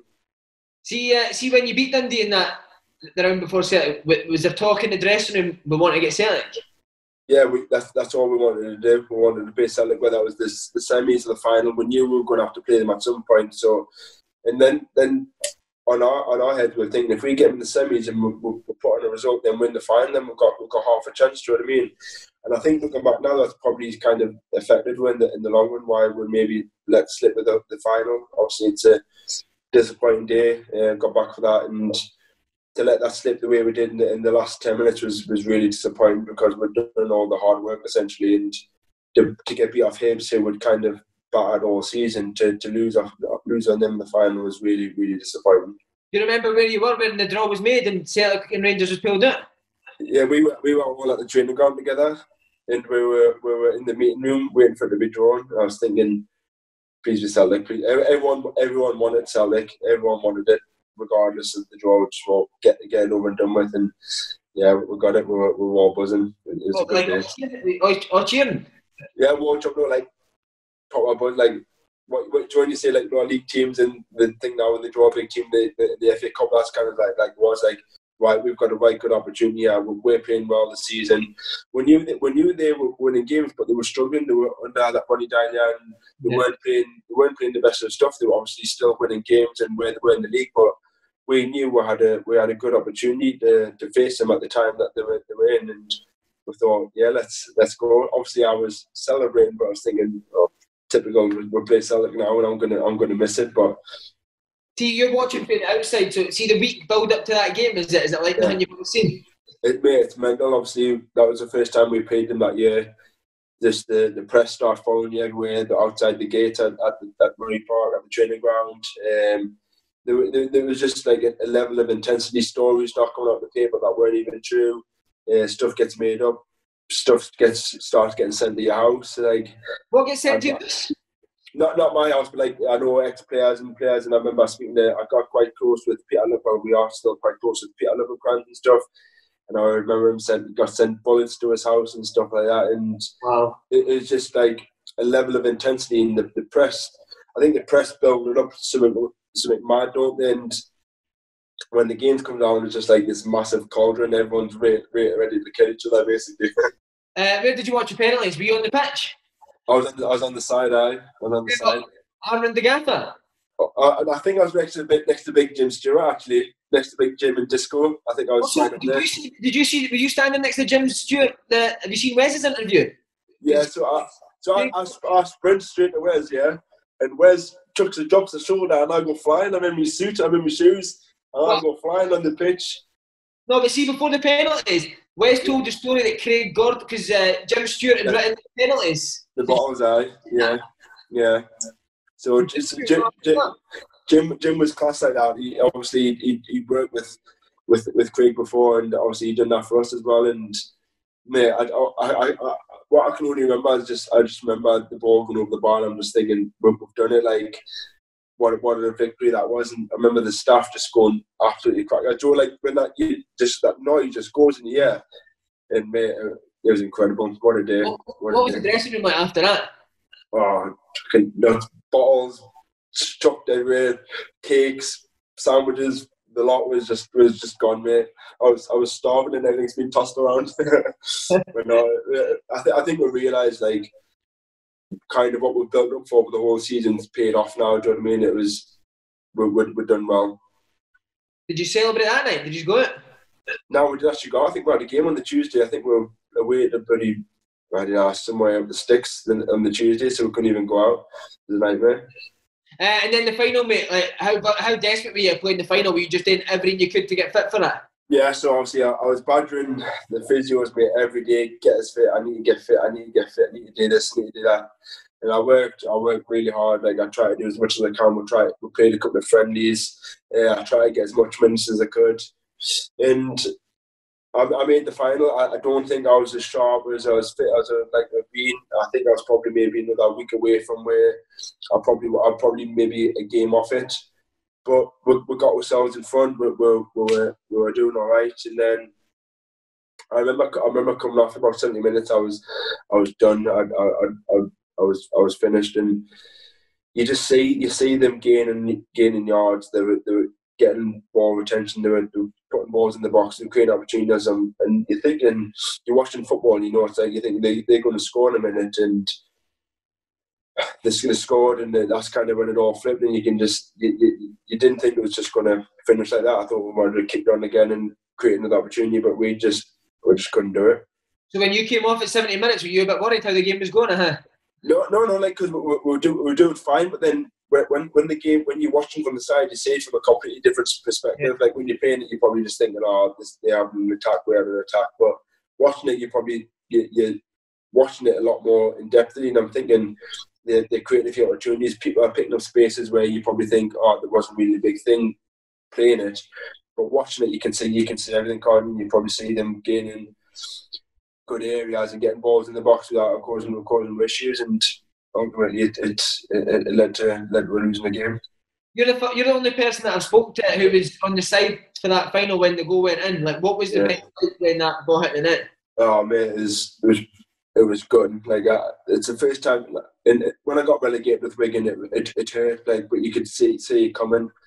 But that when when it went in, it was it was just pure. It was, it was just devastating, mate. Like the feeling of anger, disappointment, frustrating because we'd, we'd done we'd done the hard part. We'd, we'd, we'd got to the final. We're playing Hibs. We would needed to turn up, and a lot of would, a lot of we didn't turn up on the day, and it, it was frustrating because we're we had a really good opportunity to cap off the year with, with, with three trophies, and we, we couldn't we couldn't do it. It was really really really disappointing, and still still hurts us now how we didn't manage to win that final. See the dressing room after that when you said maybe somebody's never turned up. With Mark Warburton saying that, or was it just total silence? Just total silence. Uh, nobody, nobody really said out. I think everyone kind of knew how how crap we'd done. Really, how disappointing it had been to, to let that slip. It was it was shocking. Hmm. Right, mate. The next season, uh, there was rumours that you were going to go. You and Tavernier. Uh, yeah. Really happened, or was it just was it just rumours? No, there, there, was there was there was, there was talks. I, I, heard stuff about it, but um, it never really materialised or that. There was then there was talks of contracts and, and all this stuff that again it was all just oh there's there's a potential of a new contract, there's a potential of you leaving. It was just all kind of paper talk again and nothing really concrete concrete between club, player or interest from other clubs, do you know what I mean? So it was it was that point where we went away to we went went to America and it was all about right, we need to we need to beat Salem, we need to close the gap, we need to close the gap, and all the focus was on on, on doing that. Um, so we, we, we, went away, worked hard, come back, was that, knew is it the Betfred League or whatever, started that new mini cup competition, we done that. And we started off really well. I, scored a few goals, I, I was feeling really good, and then first game of the season where I picked up a, a hamstring injury and kind of lost a bit of confidence, a bit of form from from there on in really. So, was there a new contract offered? Like, were you close to signing a new contract, Rangers? No, there wasn't necessarily a new contract offer. There was talks about if I wanted to extend my stay. I was like, well, let us just get the season going, like get going, see how I progress, get better, and then we can go from there. Because I, I was happy, like we wanted to. I always wanted to, to play football. It wasn't really a, a, big deal at the time to, to sign a new deal. I still had two years left at that point, so I just wanted to to get going, keep building on the goals that I scored. I was in a good place. I didn't really want anything to change or get distracted. So, and then I then obviously I got injured, and that kind of all curtailed the, the plans that were that were going to happen. See, when you're sitting in the summer and you you see the club signing like Joey Barton, Nico Kranjčar, Clint Hill, are you buzzing? Yeah. You thinking? Oh yeah, it was like this, this, this, is massive. This is kind of what the club needed. They needed winners. Joey Barton, I think, just won the, the championship with Burnley. Just got promoted. Clint Hill, same with QPR. I think was out of contract, and obviously everybody knew of Nico Kranjčar and the quality that he possessed was was was was unbelievable. So to bring them in, you're thinking we've got the core of the team getting set up here, and it, it, it could be vital for we're going into these big games that we need these experience, the, the winning mentality that we that we needed. Clinton, how's your top man? Any you had him on? Funny what, guy. What a guy! What what a really really good guy. Like again, training day in day out, winner, one hundred percent winner. Come off it, nice play guy, and would do anything for you. Got a lot of time from. You get playing up front in training, and Clint Hill's playing defence on other team. Does he smash it? Oh, mate, every single day. We used to have tiffs all the time, mate. I used to hate. Well, was one of my pet hates getting smashed in training. I couldn't stand it. I just, I didn't see it, especially with the defender, clumsy big centre half comes smashing you from behind. I used to hate it. And what would, I used to, what would you say? Just uh, I, I used to, I used to just like, just like you know, it's like handbags. Do you know I mean stuff like that? But it was just my pet hate, but he just loved it. He just loved smashing people. he said that on you, mate. He said he just loved smashing people. Oh, did you think it was like? Did you think we could win this league, but with these sort of players that we're getting in? We, we never thought we could win the league. Me personally, I didn't think we could. Right, we're winning this league easy. It's going to be too easy for you. But I thought what we've got to we've got to beat the teams around with and then when they come to Celtic, we've got to we've got to we've got to perform. We've got to take points off them. We that's how we're going to bridge the gap closer and go from there. And we we weren't good enough against the, the other teams. We, we won games. We we're, we're up points, but we're I think we're a bit complacent coming to the teams. I think we're maybe a bit a bit lax. We, we didn't really appreciate the step up of the quality from the championship to the premiership and we're just we just weren't we weren't at it against the other teams. And then come Celtic, it, it showed that we were we were miles off it in the, the first game of the season against them, and really really disappointing performance. That was my first game back from injury. Um, I came on last last twenty minutes or so, and we were just we weren't at the races. We were miles off it, and that that kind of set the, the, the tone for the whole season. I think. Mark Warburton told us that he actually regretted no sticking to his like ethos of high, fast tempo players, bringing maybe bringing in the older players that went away from their original identity. Would you? Would you? Yeah, we, we, we, did a bit because what we, the whole plan for the year before was press, press, press, pass, pass, pass, and we did we did get away from that a bit. We, we, we, we contained a bit, we dropped off a bit, we let teams have it, and kind of it, it just didn't suit him. Where maybe some players were in the, the the mode from last year and somewhere in between. It was just kind of a bit disappointing. Yeah, we're in between stars and, and, and formations that weren't, weren't really suited to us as players. I think Kranjčar's a tremendous player, but he's not pressing. He's not pressing anyway, is he? No, he, he wasn't a presser, was he? He wasn't a presser. No. He's, he's, he's a number ten, little Maradona player. But gee, mate, what what a player! He's technically gifted, one of the most gifted players I've ever played with. Both feet, he, he was a joy to train with at times. It was unbelievable. When you were saying earlier as well, that first season, like how tight you were as a squad. Yeah. They're all similar ages, similar kind of mentalities. Yeah. Does that change as well when these type of players come in because they're big? No, they, they, they, they, didn't much. Maybe, maybe Joey created a bit of um, animosity in the dressing room, but again, he just wanted to win. But he was he was a very diverse character, and like there was a difference between winning and the way maybe he went went, around sometimes. But I kind of I got I got on well with him. Like I, I appreciated how he wanted to win, but I think a lot of the stuff changed to suit the kind of the way would was the team then we had like Clint, we had Joey, we had Nico in there. We just kind of like you say, we we changed the, the plan and the formula that was working, and I think we kind of lost track of our identity identity and who and who we were. Because see, like speaking to people, like the first year, I think what I got is like you hung on to Mark Warburton's every every word, but when these bigger yeah. come in, maybe start questioning then you maybe start. Yeah, yeah. Then, then we then we were kind of all just in no man's and really we're we're getting told stuff.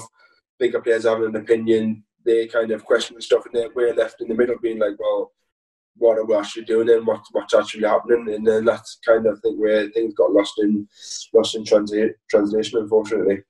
Ask everyone this as well. When Das has said that Barton gave him a bit, Andy's obviously told us a story about him enjoy. Did you ever get? Did you ever get a bit off him like proper? Uh, I, I, ne- I, never, I never got anything off him. I think he's probably been scared of my physique. To be honest, so he never, he never done that. no, no. Again, like I never really got in that situation where I had any like beef with him, uh, beef again, any like arguments with him or anything. Uh, we were kind of either on the same team or different positions, not, not like fighting for the same position. Whereas Josh and Andy were very competitive in that area where that maybe prove a point. But I just think he's maybe over the top with how much he wanted to win at times. He maybe took it a bit too personally on the training pitch when it wasn't well, it wasn't necessarily. But I guess that was his character. I've, I've been there times where you probably take things a bit too far when it's it's too much. But I just think a lot of the players were just a bit miscited in terms of how we were going forward with the the plans going forward. Really. Well, see when like see when Barton's cracking in that. What's the big uh, What's the big cigar smoker Kranjčar like? Is he just totally? Oh, Nico, Nico is just like, oh, you just got just got to let let it, let it be, man. Just relax, just just chill out. He's the most laid back guy ever, as you can imagine, as he as he comes across. But when when Nico spoke, he kind of you kind of listened because he'd, he'd been there, done that. He had he had a lot of good things to say. He helped a lot. He he played with Joe. He played with Clint, so he he kind of kind of always offered a second opinion to how they worked and how they, they worked well together. He's just like you've got to understand Joey. Joey is what he is. Clint is what he is. Clint had big personality, big opinions, and the three of them all kind of had their own positives on the on the on the group as well. So it wasn't all just just negative, negative opinions. Uh, uh, they were they were big players that brought a lot of lot of things to us that we never experienced before. So it was, the, I think, the big bigger stuff and the negative stuff gets highlighted more than what actually did bring. But that's like you say, that's I think that's the Scottish press for you. Uh, Josh Windass, just to ask, like, I love him as a boy. Is he a good lad? Nah, he's he's boring as boring as shit, mate. To be honest, nah, Josh Josh is a very very strange guy. I thought he's, he's he, he, I got I got on really well with him. Another guy who him and Crooksy came together from Accrington and we got on really well. Um, very dynamic player. I like playing with him. He always made good runs. He was clever. He did, and again, he, he, he had an eye for goal, which I, which I like. We got we got on really well. He was, he was a young kid, and I've, I've not really got much else to say about him. I, I still speak to him now. We all have a good bit of crack, and at that time we were, we were still learning a lot and developing. Well, Josh was developing. I was coming back and you. We were all trying to fit into this new new game plan where we're kind of all in between positions. Josh was of position at time. I was of position.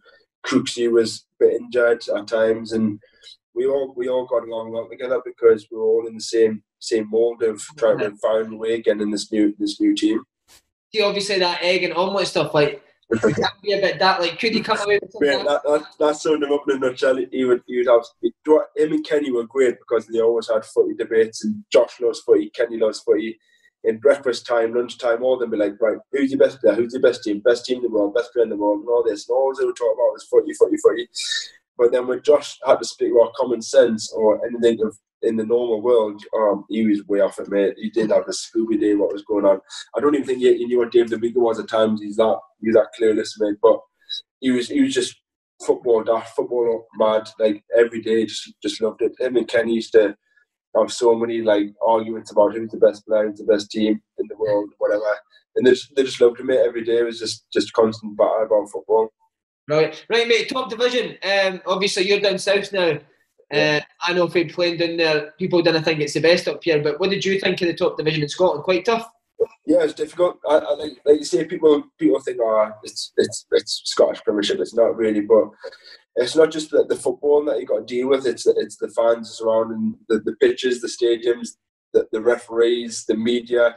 Like there's a whole lot more that goes into it than than um, than what people think. And I think the diversity between the top leagues and the Premiership to the bottom leagues, you got play, you got players and teams fighting for their lives, the careers, the the continuation of the club and fighting to stay in that league. And it's, it's so competitive in terms of that, that at it every single week. And if you're not, you, you, you kind of got found out. You knew playing, I don't know, Raith away or Dumbarton away. Like these these players are fighting for, for every scrap and they want to beat Rangers, don't they? Rangers and Celtic, that's who they want to beat. And going to these places was, was difficult time. They raised the game by 20, 30% because they could pull off a result against us or, or Celtic, and then the next week they would go and lose 5 6 0. And that, mm. that for me epitomised how the mentality was of, of the, them, them type of teams. They wanted to turn up for them games, and then the, the rest of the week they would probably be like, oh, it's not as big as game as Rangers and Celtic, or they might be tired or drained or whatever, hold themselves back. But the level of intensity for games against us, they just they knew they had to raise it. It's fast paced. Yeah. It's fast paced up here. It is, mate. Like you say, it's hundred mile an hour. You, have got no time, no no time to breathe. Somebody's like you say, smashing you or mm-hmm. like, jumping at the bit. Yeah, I, I, think kind of the way you see Andy Robertson, the way he plays now, that kind of epitomises how Scottish defenders, midfielders were. It was it was high it was high intensity pressing, smashing people, and it, it was difficult because I think we were we were given a lot more freedom and a bit more time to play the league the league below. And I think that's that kind of maybe took things a bit bit too bit too easily and a bit for granted. Right, mate. See, just on the five-one defeat that you're talking about, could you yeah. believe, like, from where you had beat him in the semi-final, the feeling in the dressing room after that game, to a couple of months later, to feeling that the complete opposite? Yeah, it was it was it was a complete contrast. I think, I think so. I think that result give Celtic a huge wake up call in terms of they needed big changes. Um, they changed the manager in the summer. They brought in a lot of lot of, lot of players and yeah, they raised their game. And I think we we maybe underestimated how big of a game it was to come a league game when all the, the cups anybody come in on, on any on, on any day. I think the league game at their pace were probably just overpowered, outworked and outplayed, and we weren't we weren't ready for it see for like the highs and how good it is when you're winning it and to see after like a defeat like that and maybe you're, he's in the best of form. Um, you, you, you, you, you, Rangers play at that time. Yeah, it's, it's tough, mate. It's really tough. And I think that's kind of where I, where I struggled at the, the second year in terms of mentally dealing with, with, with all that because, like I say, I wasn't playing. I was injured. I was in and out. And we were we weren't playing as, as well as I should, and I was probably taking the criticism a bit too, a bit too personally into heart and reading into it too much. And I think that's where I kind of struggle with living within within within Glasgow and Scotland. That so see what how bad can does it get me? Do you just go home and it's all you can think about? It's all, well, it's it's it's all that the, the city's about. It's football, football, football in it. Wherever you go, I, I used to go to the park with my little man. To find used to shove my little boy out the way and give his stick. We used to go to shops. You seen the video that I, I confronted that kid and it was just it was just constant, mate. It was whatever I'd done, there was always somebody there, like videoing you or digging you out or having to go at you, and it, it, it got tough, mate. I, I, I struggled a lot with it, and I found it difficult to to have. Well, I'm a, I'm a quite family, I'm a very family oriented person. I, I struggled a lot with how they not only treat me, but they treat my family. It was tough. And for the vast majority of Rangers fans, they, they were brilliant. the loved us and they, they still support us to this day, which I'm, I'm grateful for. But there's always that minority and, and stuff that make it make it difficult and, and find flaws in, in your character, which I found tough. You know, but because you went through that, though, do you feel it's helped you now? And you're not, oh, massively. It, it, was a, it was a massive, yeah, it's a, it was a massive learning curve, and I feel like I've lot, learned a lot about myself as a person, who I am, who I am as a footballer, and who I am as a person, and it was very difficult. It was hard to get out of at that stage, but it's made us made us appreciate where I am and who I am now. And listen, you, you, you learn from lockdowns, you learn from being rock bottom, and I, I feel like I've done that, and I've kind of come out the other side better for it. Uh, just on Warburton, uh, Martyn, did was there a was there a, you could feel like it was it was coming to an end for Mark Warburton?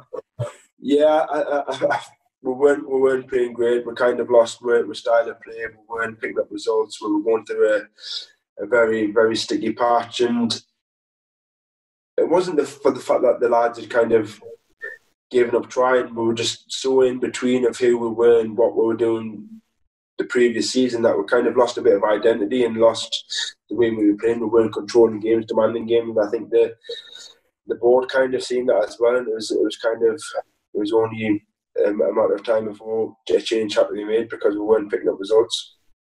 How did you How did you find out that he'd left? Where when you found out? Um, I think we were we were actually on a day off. I was I was just at home, and he, and he got. I was I was on Sky Sports News actually, and then we he, he, he, I think he gave everyone in the team a message to say that he's he's, he's gone, and, and and that was it really. And like you say, football it's one of them things that people come and go, don't they? Managers, I've, I've worked under enough managers to be time to, to know that these things happen, and we're, we're ready to move on again. What did you make of the confusion surrounding his departure? Obviously, rumours yeah, that was speaking to Is there any wind in that amongst the players? Yeah, there's there's so much of that stuff because it was it wasn't just like before he, he left that that happened. It was it was in the press for a good while, wasn't it? There was talks of him yeah. speaking to the clubs and, and, leaving or whatever, potentially resigning and stuff like that. And I don't get us wrong, as footballers, you'd be like, well, he's here. I, I don't really believe it. Um, I can't say it. I, I, I don't get it. Um, and I think you just have to take them things with a pinch of salt. Obviously, looking looking back, he did go to Forest in the end, so there might have been some truth in. There's no smoke without fire, as they say, isn't there? So you never know his personal agenda. He might have been might have been distracted by, by something else on the corner, and only only he'll know, I guess. See, when you were saying like you were struggling a wee bit and you were you were in and out, would you go and see Mark Warburton and ask why you weren't playing every week? Um, yeah, I, I, I always saw, thought, saw myself as a striker, and, and I struggled to to kind of play as a, as a winger at that time because I wasn't I wasn't the right winger. I wasn't the right winger that Rangers needed. I wasn't tricky. I wasn't blessed with massive bits of pace. I wasn't built to, to defend and stuff. Like I, I wasn't kind of that player yet. Do you know what I mean? I, I was still learning as a striker, and I always felt like I was I was better for the team as a, as a striker. And I spoke with with the gaffer and David Weir about that a lot. But I had at that time I had Kenny Miller. There was there was um, Joe Garner as well there as well. But yeah, for no fault of my own, I was I was injured and I was in and out, so I couldn't really complain that much. But I would go speak to him about not not playing and not playing as good as I would. And I think that's kind of where I think kind of masked of overcomplicating things, thinking too much about what people said about his criticism, not scoring goals, not winning games, and that's kind of where it all kind of circulated. Do you know what I mean? Um, yeah. Like I always wonder, I see with players as well. Do you get do you get a heads up a couple of days before it's announced, or do you just find out that Pedro no, you, you, see, you see stuff in the papers and in the press, and you be like, I, I, honestly, a lot of the lads like, we never, we never even heard of this guy. We're, we don't know who he is and, and stuff like that. And then he came in and he was actually watching the old firm game that we drew, we drew one one, and Sorry, was he was in the crowd, wasn't he? Uh-huh. He was in the crowd, I and he, he, he came in the, the following Monday and he spoke really well. Again, he put up a really passionate guy, hated losing games, wanted to win, and for us, it was a complete and utter change of style of play again. It was it was going from one chalk and cheese really going from one style to another. It was and it's hard when you bring in four or five members of staff trying to relay that halfway through the season. It's always difficult, isn't it? I always find like with foreign managers they come in and they're tough on people straight away. Was that how how Pedro was as well? Yeah, yeah, pretty much. Yeah, he, he kind of had a way of playing. If he didn't fit into that, you would he would tell you you were in and out or you weren't part of his plans. And I think that happened with a lot of the lads. So I mean, if they found out straight straight away whether they, they were liked or not. What uh, did he have a one to one with you straight away? Did he tell you what you? Yeah, he, he, he, liked me. He, oh, I was fortunate enough to play that. that I started that old firm game, but I, I remember. I always remember I missed a couple of chances. Gordon's pulled off a couple of saves, and he remember he come up with us. He says, "Yeah, you, you missed a couple of chances, blah blah blah." But I, I like the way you, you work. You you're dynamic. You work well for the team, and he kind of he, he liked it as a, as a player. He, he's seen it as kind of a, a link up striker, quite big strong, held the ball up well, and he, he told us that's how he'd probably see me playing. And I, I got on all right with him. Well, uh, a couple of boys have told us about his presentations. Have you got Have you got a favourite? Oh man, there's, there's too many. I, I I just remember he always used to have his. He, he always used to do some relate some stuff back like his time back where he was from in his hometown, and then and then his, his assistant used to always take this the the slideshows, and nobody used to understand what he said. He used to, used to say like stuff in random accents or random words and be like con- completely contradictory. So all the boys would come out from the, they'd be like, "What have we? What have we actually just watched there? Like, what what relevance is that to football whatsoever?" He was just like, I think he was just so caught up in the emotions of football. Would just go off on some tangent and be like some random slideshow of like a bull tackling someone or something like that. And like the lads were like, "What on earth has that got to do with football?" But you just, you just, I think that's his way of trying to translate from his passion or whatever to what he done there, how he how he was as a manager. Was it hard? Was it hard not to laugh in the in the meetings? Oh mate, the, the lads like sitting there and sweating like this, like nudging each other, and that was thinking, if I get caught out here, he's going to he's going to dig us out. But mate, it was, it was it was just like after a while, you look there, you just you end up just like looking around, like counting the tiles in the wall or something like that, just to try and get through it. could, you, uh, could you crack as well, Pedro? Sorry. You crack. Um, he was just he was just mad. Like I I, I don't really know. He didn't have much crack. He just he had this big laugh on his face, this big smile on his face, and if he if he found you funny, he probably, do you know what, he probably wouldn't even, even get half the band that we were saying, or probably caning them, and he's probably laughing his head off. just no, like, you just, you just, you just mad, mate. You just. No, I mean, I mean, could he crack? Like, could he lose it? Oh man, he, he, he, he yeah, but you'd lose it in like um, a, in like a Mexican way. You just like start throwing his hands about somewhere and storming around and like speaking like call, I'm guessing he's calling everybody every name under the sun, do you know what I mean, in, in, his, in his language, but you just go off and you, you just get like this mad rage and start charging everywhere. Like, uh, I guess that's why he's related to the bull. He probably sees himself as the bull. Do you know what I mean? You just go and crackers. But it would, it would never be like a direct attack at the player or anyone individually. It would just be a, like mad run. Yeah, at, at a coach or something. Probably, probably not even us. It Probably his assistant would probably get it.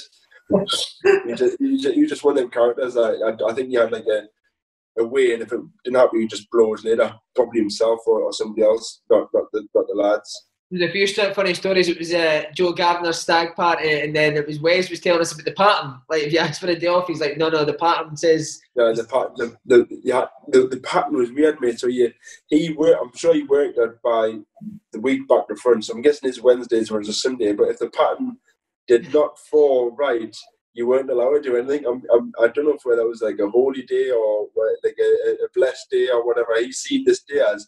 But if the pattern didn't fall right, you were not allowed to do anything. And I swear to God, like the pattern was like honestly, it was a random day. It was like a Tuesday. So nobody, nobody for a year and a half guessed what this pattern actually was. It was. It, it still baffles me to this day. The game was on the Saturday. A game was on the Saturday, but the pattern was on the Tuesday. That I don't know still it. Did no one ever ask, like, what's this pattern? Every day, what is the pattern? So he's like, the pattern is so you play, yeah. The day after, yeah. This is the Monday, this is the Tuesday. The Tuesday is the pattern. And everyone was like, well, well, no, surely Sunday's the pattern. Surely Sunday is the day that you have your rest and you, you go again. They don't know Tuesday. Sunday's the day for I recovery. I, I honestly still don't know this day. It was only one day off a week. Uh, if we were lucky, we win a lot. You know, the the, the pattern the pattern didn't let, didn't allow him many days off. Was, you think it's when you're at a club like Rangers and it's like under that pit, you need you need time away from the place, don't you? You do. I I think I think he, he got caught up in like being at the club every day, every day, work, work, work, work, work.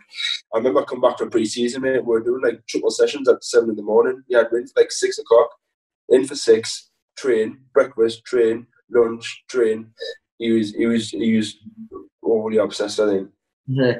Um, what see when he was like making comments in the media about the dogs and the caravans and all? Like, what what are you sitting? What, what are you sitting? at that point, at, at, that point, thinking what chance we got. If he he's gone, we're gone. Do you know what I mean? Like, if he's if he's comparing cats and dogs to caravans or whatever he's doing, like, it was that's that's what I think he, he realised like he's he's struggling to cope with all this going on because he, he was clearly on one. He's just a madman when he like looking back.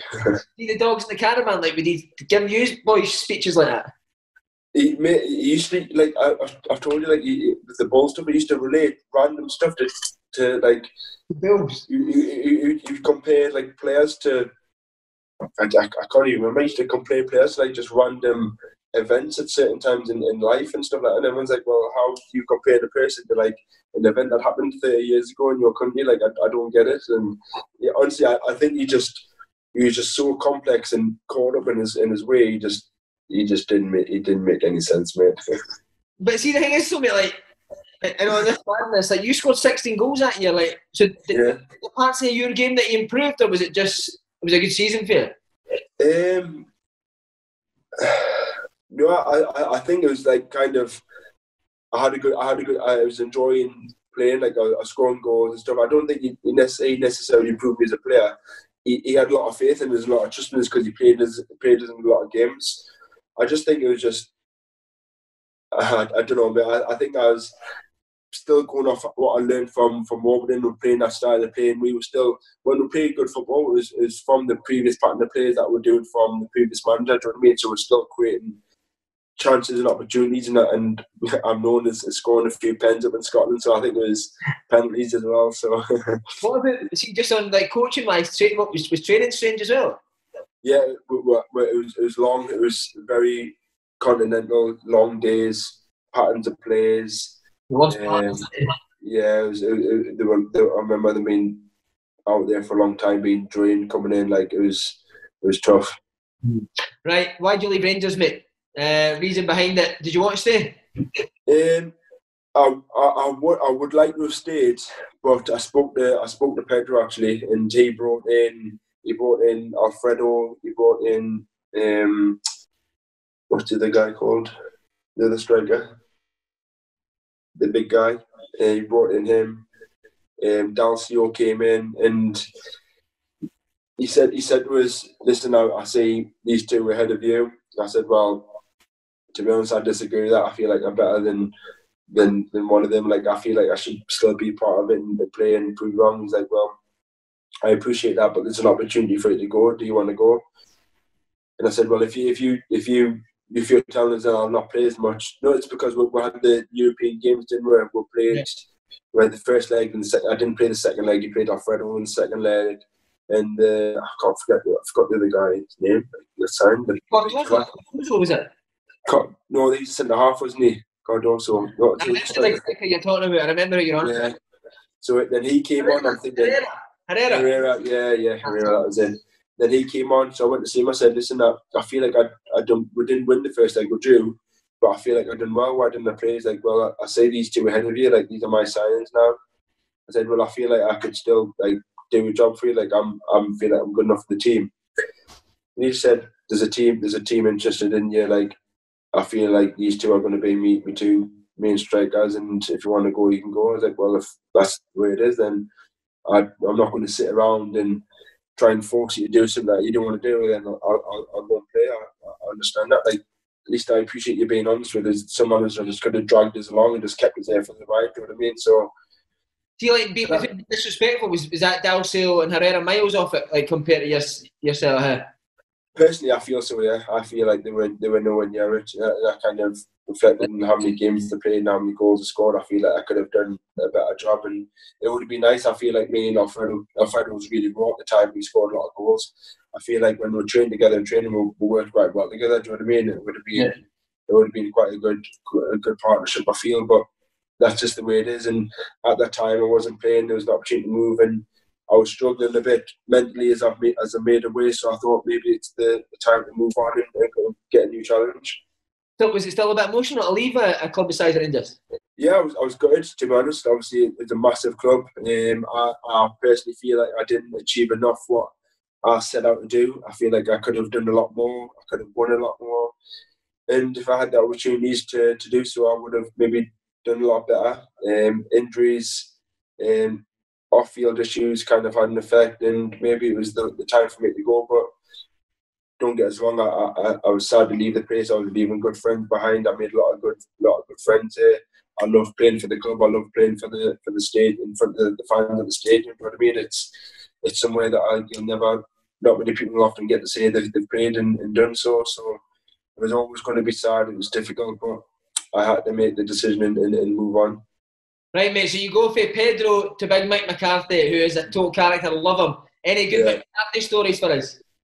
Um, I, I don't, to be honest. I, I, I heard a lot about him. You, you see the videos and stuff from online and whatever. But you, you, when I got there, I, I, I, got a completely different impression about him. I was thought he was going to be this this madman. Do you know what I mean? But what what a nice guy. He, he's very laid back, very calm, very relaxed. And is he is he laid back and calm? Huh? Re- really, really surprises. I'm thinking. I'm, I, I remember going there, and um, so I, I, remember, I remember saying that I, I left. Mate, I left Glasgow at two o'clock in the morning. I had, had a seven-hour drive to Ipswich to do my medical. So um, I remember driving down there. I was absolutely knackered. He's like, well, "Are you ready to travel?" I was like, "What do you mean?" I was like, "I've only just I've travelled nine hours. I'm knackered. I'm not." He's like, "No, no, you're travelling. You've got a, got a match tomorrow. Like Luton in the cup. I need you. I need to play." I'm like, "Yeah, yeah, whatever." He's like, but he like pulls it off. He's like, "Don't worry, everything's going to be all right. I know you've had a, like a, an indifferent year, so I, I've built you for a number of years. Whatever. I've always watched you, and just just go and play your game." And I thought he was going to be a lot more intense and like expect a lot more, a lot demand a lot more. So I'm quite relaxed with him, have a good chat, play a game, and then come the come the weekend. So we used to do um, like a, an v young on a, on a Friday before the before the game. And um, so for the first time, sorry, I say, oh, can I have the number nine shirt? Like I, I see myself as a striker, I want the number nine shirt. He's like, yeah, yeah, like it's a, it's a big number. Like, are you prepared to fill? I was like, yeah, yeah, whatever. Like, it's fine. It's only number to me. So like in the next the next week we're doing old v young, and um, the, the team gets absolutely battered. I've missed a couple of chances, and this is before I even make my debut. And uh, he goes, he pulls his he pulls his off. He's like, "Do you think that's good enough?" I was like, "What?" He's like, "Your performance of that today." I was like, um, I I didn't really think about it to be honest. Like it was absolutely crappy. And if you think my number nine's performing like that for me, then you got another thing coming. I was like, oh, oh shit, I best put my finger on shit. Do you know what I mean? Wow. But then, yeah, like that's kind of how it was. And I, I, I kind of never look back with my relationship with him. You, you mate, what, what a what a top guy he is. I got nothing but high praise to say from me. Really, really good guy. See, see, when you go for like fifty-five thousand every week, that intensity is it? Is it yeah. Go play for like obviously Ipswich a massive club, mate? They've done yeah. really no, it's complete chalk and cheese. So I'm, I'm going there my debut. Like it's a very family oriented club. Not much like stick or abuse. Fans just turn up, support you, and go home. And it was it was a complete contrast. And probably at the time, it's probably what I needed to get away from the the, the animosity and the drama and everything that come with playing for Rangers and the times I was going to go and play for a club that just kind of bit of stability. The manager has got a style of play. I kind of fit into that, and it was a very family oriented club, and it worked perfectly for me and me, my wife and me and my son to, to go down there and feel settled straight away. So it kind of it worked out. I can't can't thank them highly enough because it kind of got me to to be moving where I am now. Uh, and he quit quite dramatically after the game in April. What were the players? Can you can you talk us through when he quit? Do you remember him quitting? Yeah, it was bizarre. He, he pulled me. So we we what cutting the fans off. I, I remember a couple of times he was getting a lot of stick in the press or the fans were on him, whatever. We played Brentford away and he's meant to come on the coach and all the fans are waiting for him to have the board him and give him a bit of stick, but he's he's pulled off in his car like on the other side of the stadium and he pulled in on the on the money. Saying, I, th- I think I'm I think I'm going to leave. I think I'm done. Like I don't deserve I don't deserve this. Like it's it's unacceptable. And um, it's it's the next game, the midweek game, where we're playing. I can't remember we're playing, but he pulls one the, the pitch on the, the full time and has the the meeting after the game, and he goes, "That's that's me, lads. I'm done." And we're like, "What?" He goes, "Yeah, like that's that's my last game, so we won't go in." And um, he goes, "Yeah, that's that's my time done." Yeah, it's just like so, like what you're leaving? He's like, "Yeah, I'm going next week. I'm done." And everyone's like, "That is the most bizarre resignation leaving of a club I've, I've ever met. But he, he, kind of he wore his heart on his sleeve. He's like, I don't deserve this. Like you, you players don't deserve this. He, he, he kind of respected us enough to say, "You are going out there week in week out in front of fans that are giving me stick, and I shouldn't put that on you. Like if fans want to change, and I'll I'll do that for the fans, I'll do that for the club, and I'll do that for the owner. And most importantly, you as players deserve a bit of respect and a bit of support from the fans. And if they're not going to give that, then I'll leave and hopefully they can they can push these on because there's a group of players who deserve that and a lot of the a lot of the people in Ipswich I don't think realise how, how good he was for the club and that's what I was going to say. Probably the worst decision worked, Yeah, you worked on a budget for so long and the players he recruited just because who he was and the personality he was. He brought so many good players to the club that essentially they couldn't probably have got without him. And you look at look at the grass is no as green as it says it's it just went backwards ever since. Uh, and you scored 16 goals again, mate. You love those 16 goals a yeah, 16 goals in the champ, mate. Do you know you're getting a move ahead? Like, your agent say you're, you're man? yeah, he's like, if you hit if you hit 15 goals, I can I can get you moved. But at, at that point, that wasn't really the forefront of my mind. I'd moved to get settled again and, and settle somewhere and enjoy my football. But then when when the gaffer left, it was um, I was like, I've, I've I've got an opportunity to leave here, and if it comes across, then I'll look into it. And it was one of them times where the manager had left, would brought in. I think a lot of players were kind of out of contract at the time, so the, the team was going to change again, mm. and I didn't know how it was going to how it was going to sit. Then obviously we brought in we brought in Paul Hurst, who had his own way of playing again, wanted to bring in a lot of lot of players, and a lot of players left, and it just wasn't it just wasn't kind of where where I seen myself and where we were where the year before. And then obviously Derby and, and, and Frank Lampard came in and from when, when I heard of that interest I was like, that's me done, I've, I've got I've got to go, I'm out here. Mate, it's mad for any young player watching this, like you can go for a year and Dalcio and Herrera are ahead of you a year later signing for nine million quid. It's so it's mental, isn't it? How, yeah, it's, it's crazy, and uh, I think that's kind of that's why I've got I've got to give my family, myself, and the move a bit of credit because it, it gave me a platform to get to go and play and, and go and enjoy enjoy playing as a striker and, and scoring goals and do what I do and it's give me a, it gave me the opportunity to, to go and do that. That's why I think that like uh, Mick, uh, the gaffer, for giving me that chance to go and play and, and do that and it's it's it's where I am now because of that opportunity to go and move and, and, and do that really be honest with you, when you hear it's nine mil, you're buzzing ahead. yeah, it was, it, it, it, was nice. It was nice. Obviously, the when I heard of the, the, the fee coming in, obviously that's that's not obviously my my decision. Obviously, the, the chairman from Ipswich had a had a, a fee in mind, and the the clubs have got to agree on that. And obviously, I, I just wanted to get it done. I spoke there. I spoke to Frank on the phone a couple of times. Like, sorry, I interrupt you. What was he like when you first spoke to him on the phone? Oh, mate, I, I, I had this. I had a text from me just saying, "Oh, the Frank's going to call you, want to speak to you. But I didn't know when, where or where it was going to be, so I, was waiting by my phone. I, I went to play. I went to play some golf.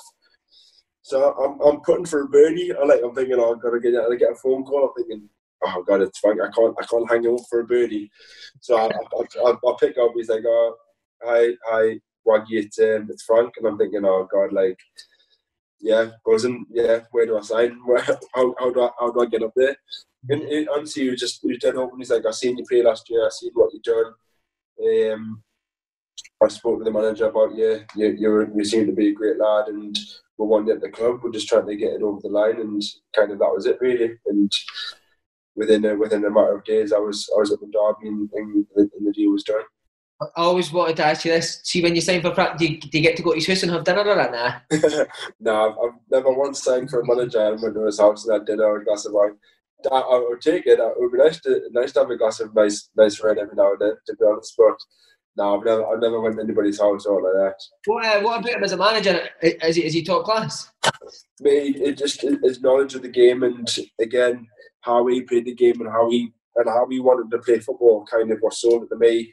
It was kind of like a similar philosophy to to Warburton, high press, high tempo, play football, and I fitted in. I fitted into that bill. Um, don't get us wrong. I, st- I started really slowly. Actually, I, I, I was in and out the team. I, I, probably wasn't as much fit as what I thought I was. I played a lot of pre-season, but to the level that he wanted us to be, I probably wasn't at it. And I had a had a chat with him in, in one of the breaks and said, I'll, I'll work harder. I need to do what I can to get the team." And I kind of never looked back since. He was he was dead open to.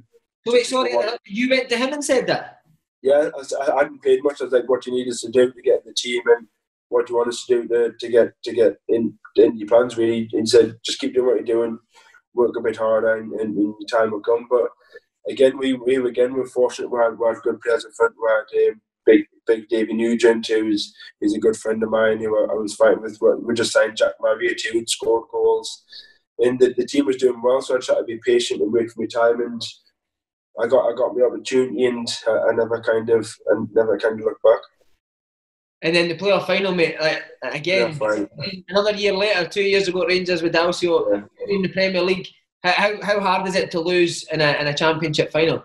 Yeah, it was it was very difficult because again we're, we're, we're doing it the hard way. We we give ourselves a mountain to climb in the in the in the semi-finals and to, to come through that. What a game that was! Sorry, what a game that was! It was incredible. What what a what a game! What that was! Obviously, Elland Road is a that stadium filled with history, and to go there after all the kind of the antics they had done throughout the season, giving it a, giving it a big in and stuff like that. It was nice to go and nice to go and get the win in and turn them over, but again, I feel like the game was there to be taken on in the final, and we kind of let that one slip, unfortunately. Sorry, I'm going off script here as well. I'm just fascinated to know. See when like the spy thing happened, was Lampard yeah. He was raging. He was raging all over because it was just like it's it's it's the lowest of the lowest spine on your team to spine on the team to get tactics and we we we made aware of that. They've done it like numerous times and it was, it was like a I don't know. in football, it's like it's a bit unsportsmanship in it to go and spy on that position. We just wanted to turn them over so much. It was in the back of our minds we need we need to beat these because they were they were an, they were an arrogant team. The way they played, they thought they'd kind of done it. The, the way they beat were at our pace, and then thought they could turn up at that days and just turn them over.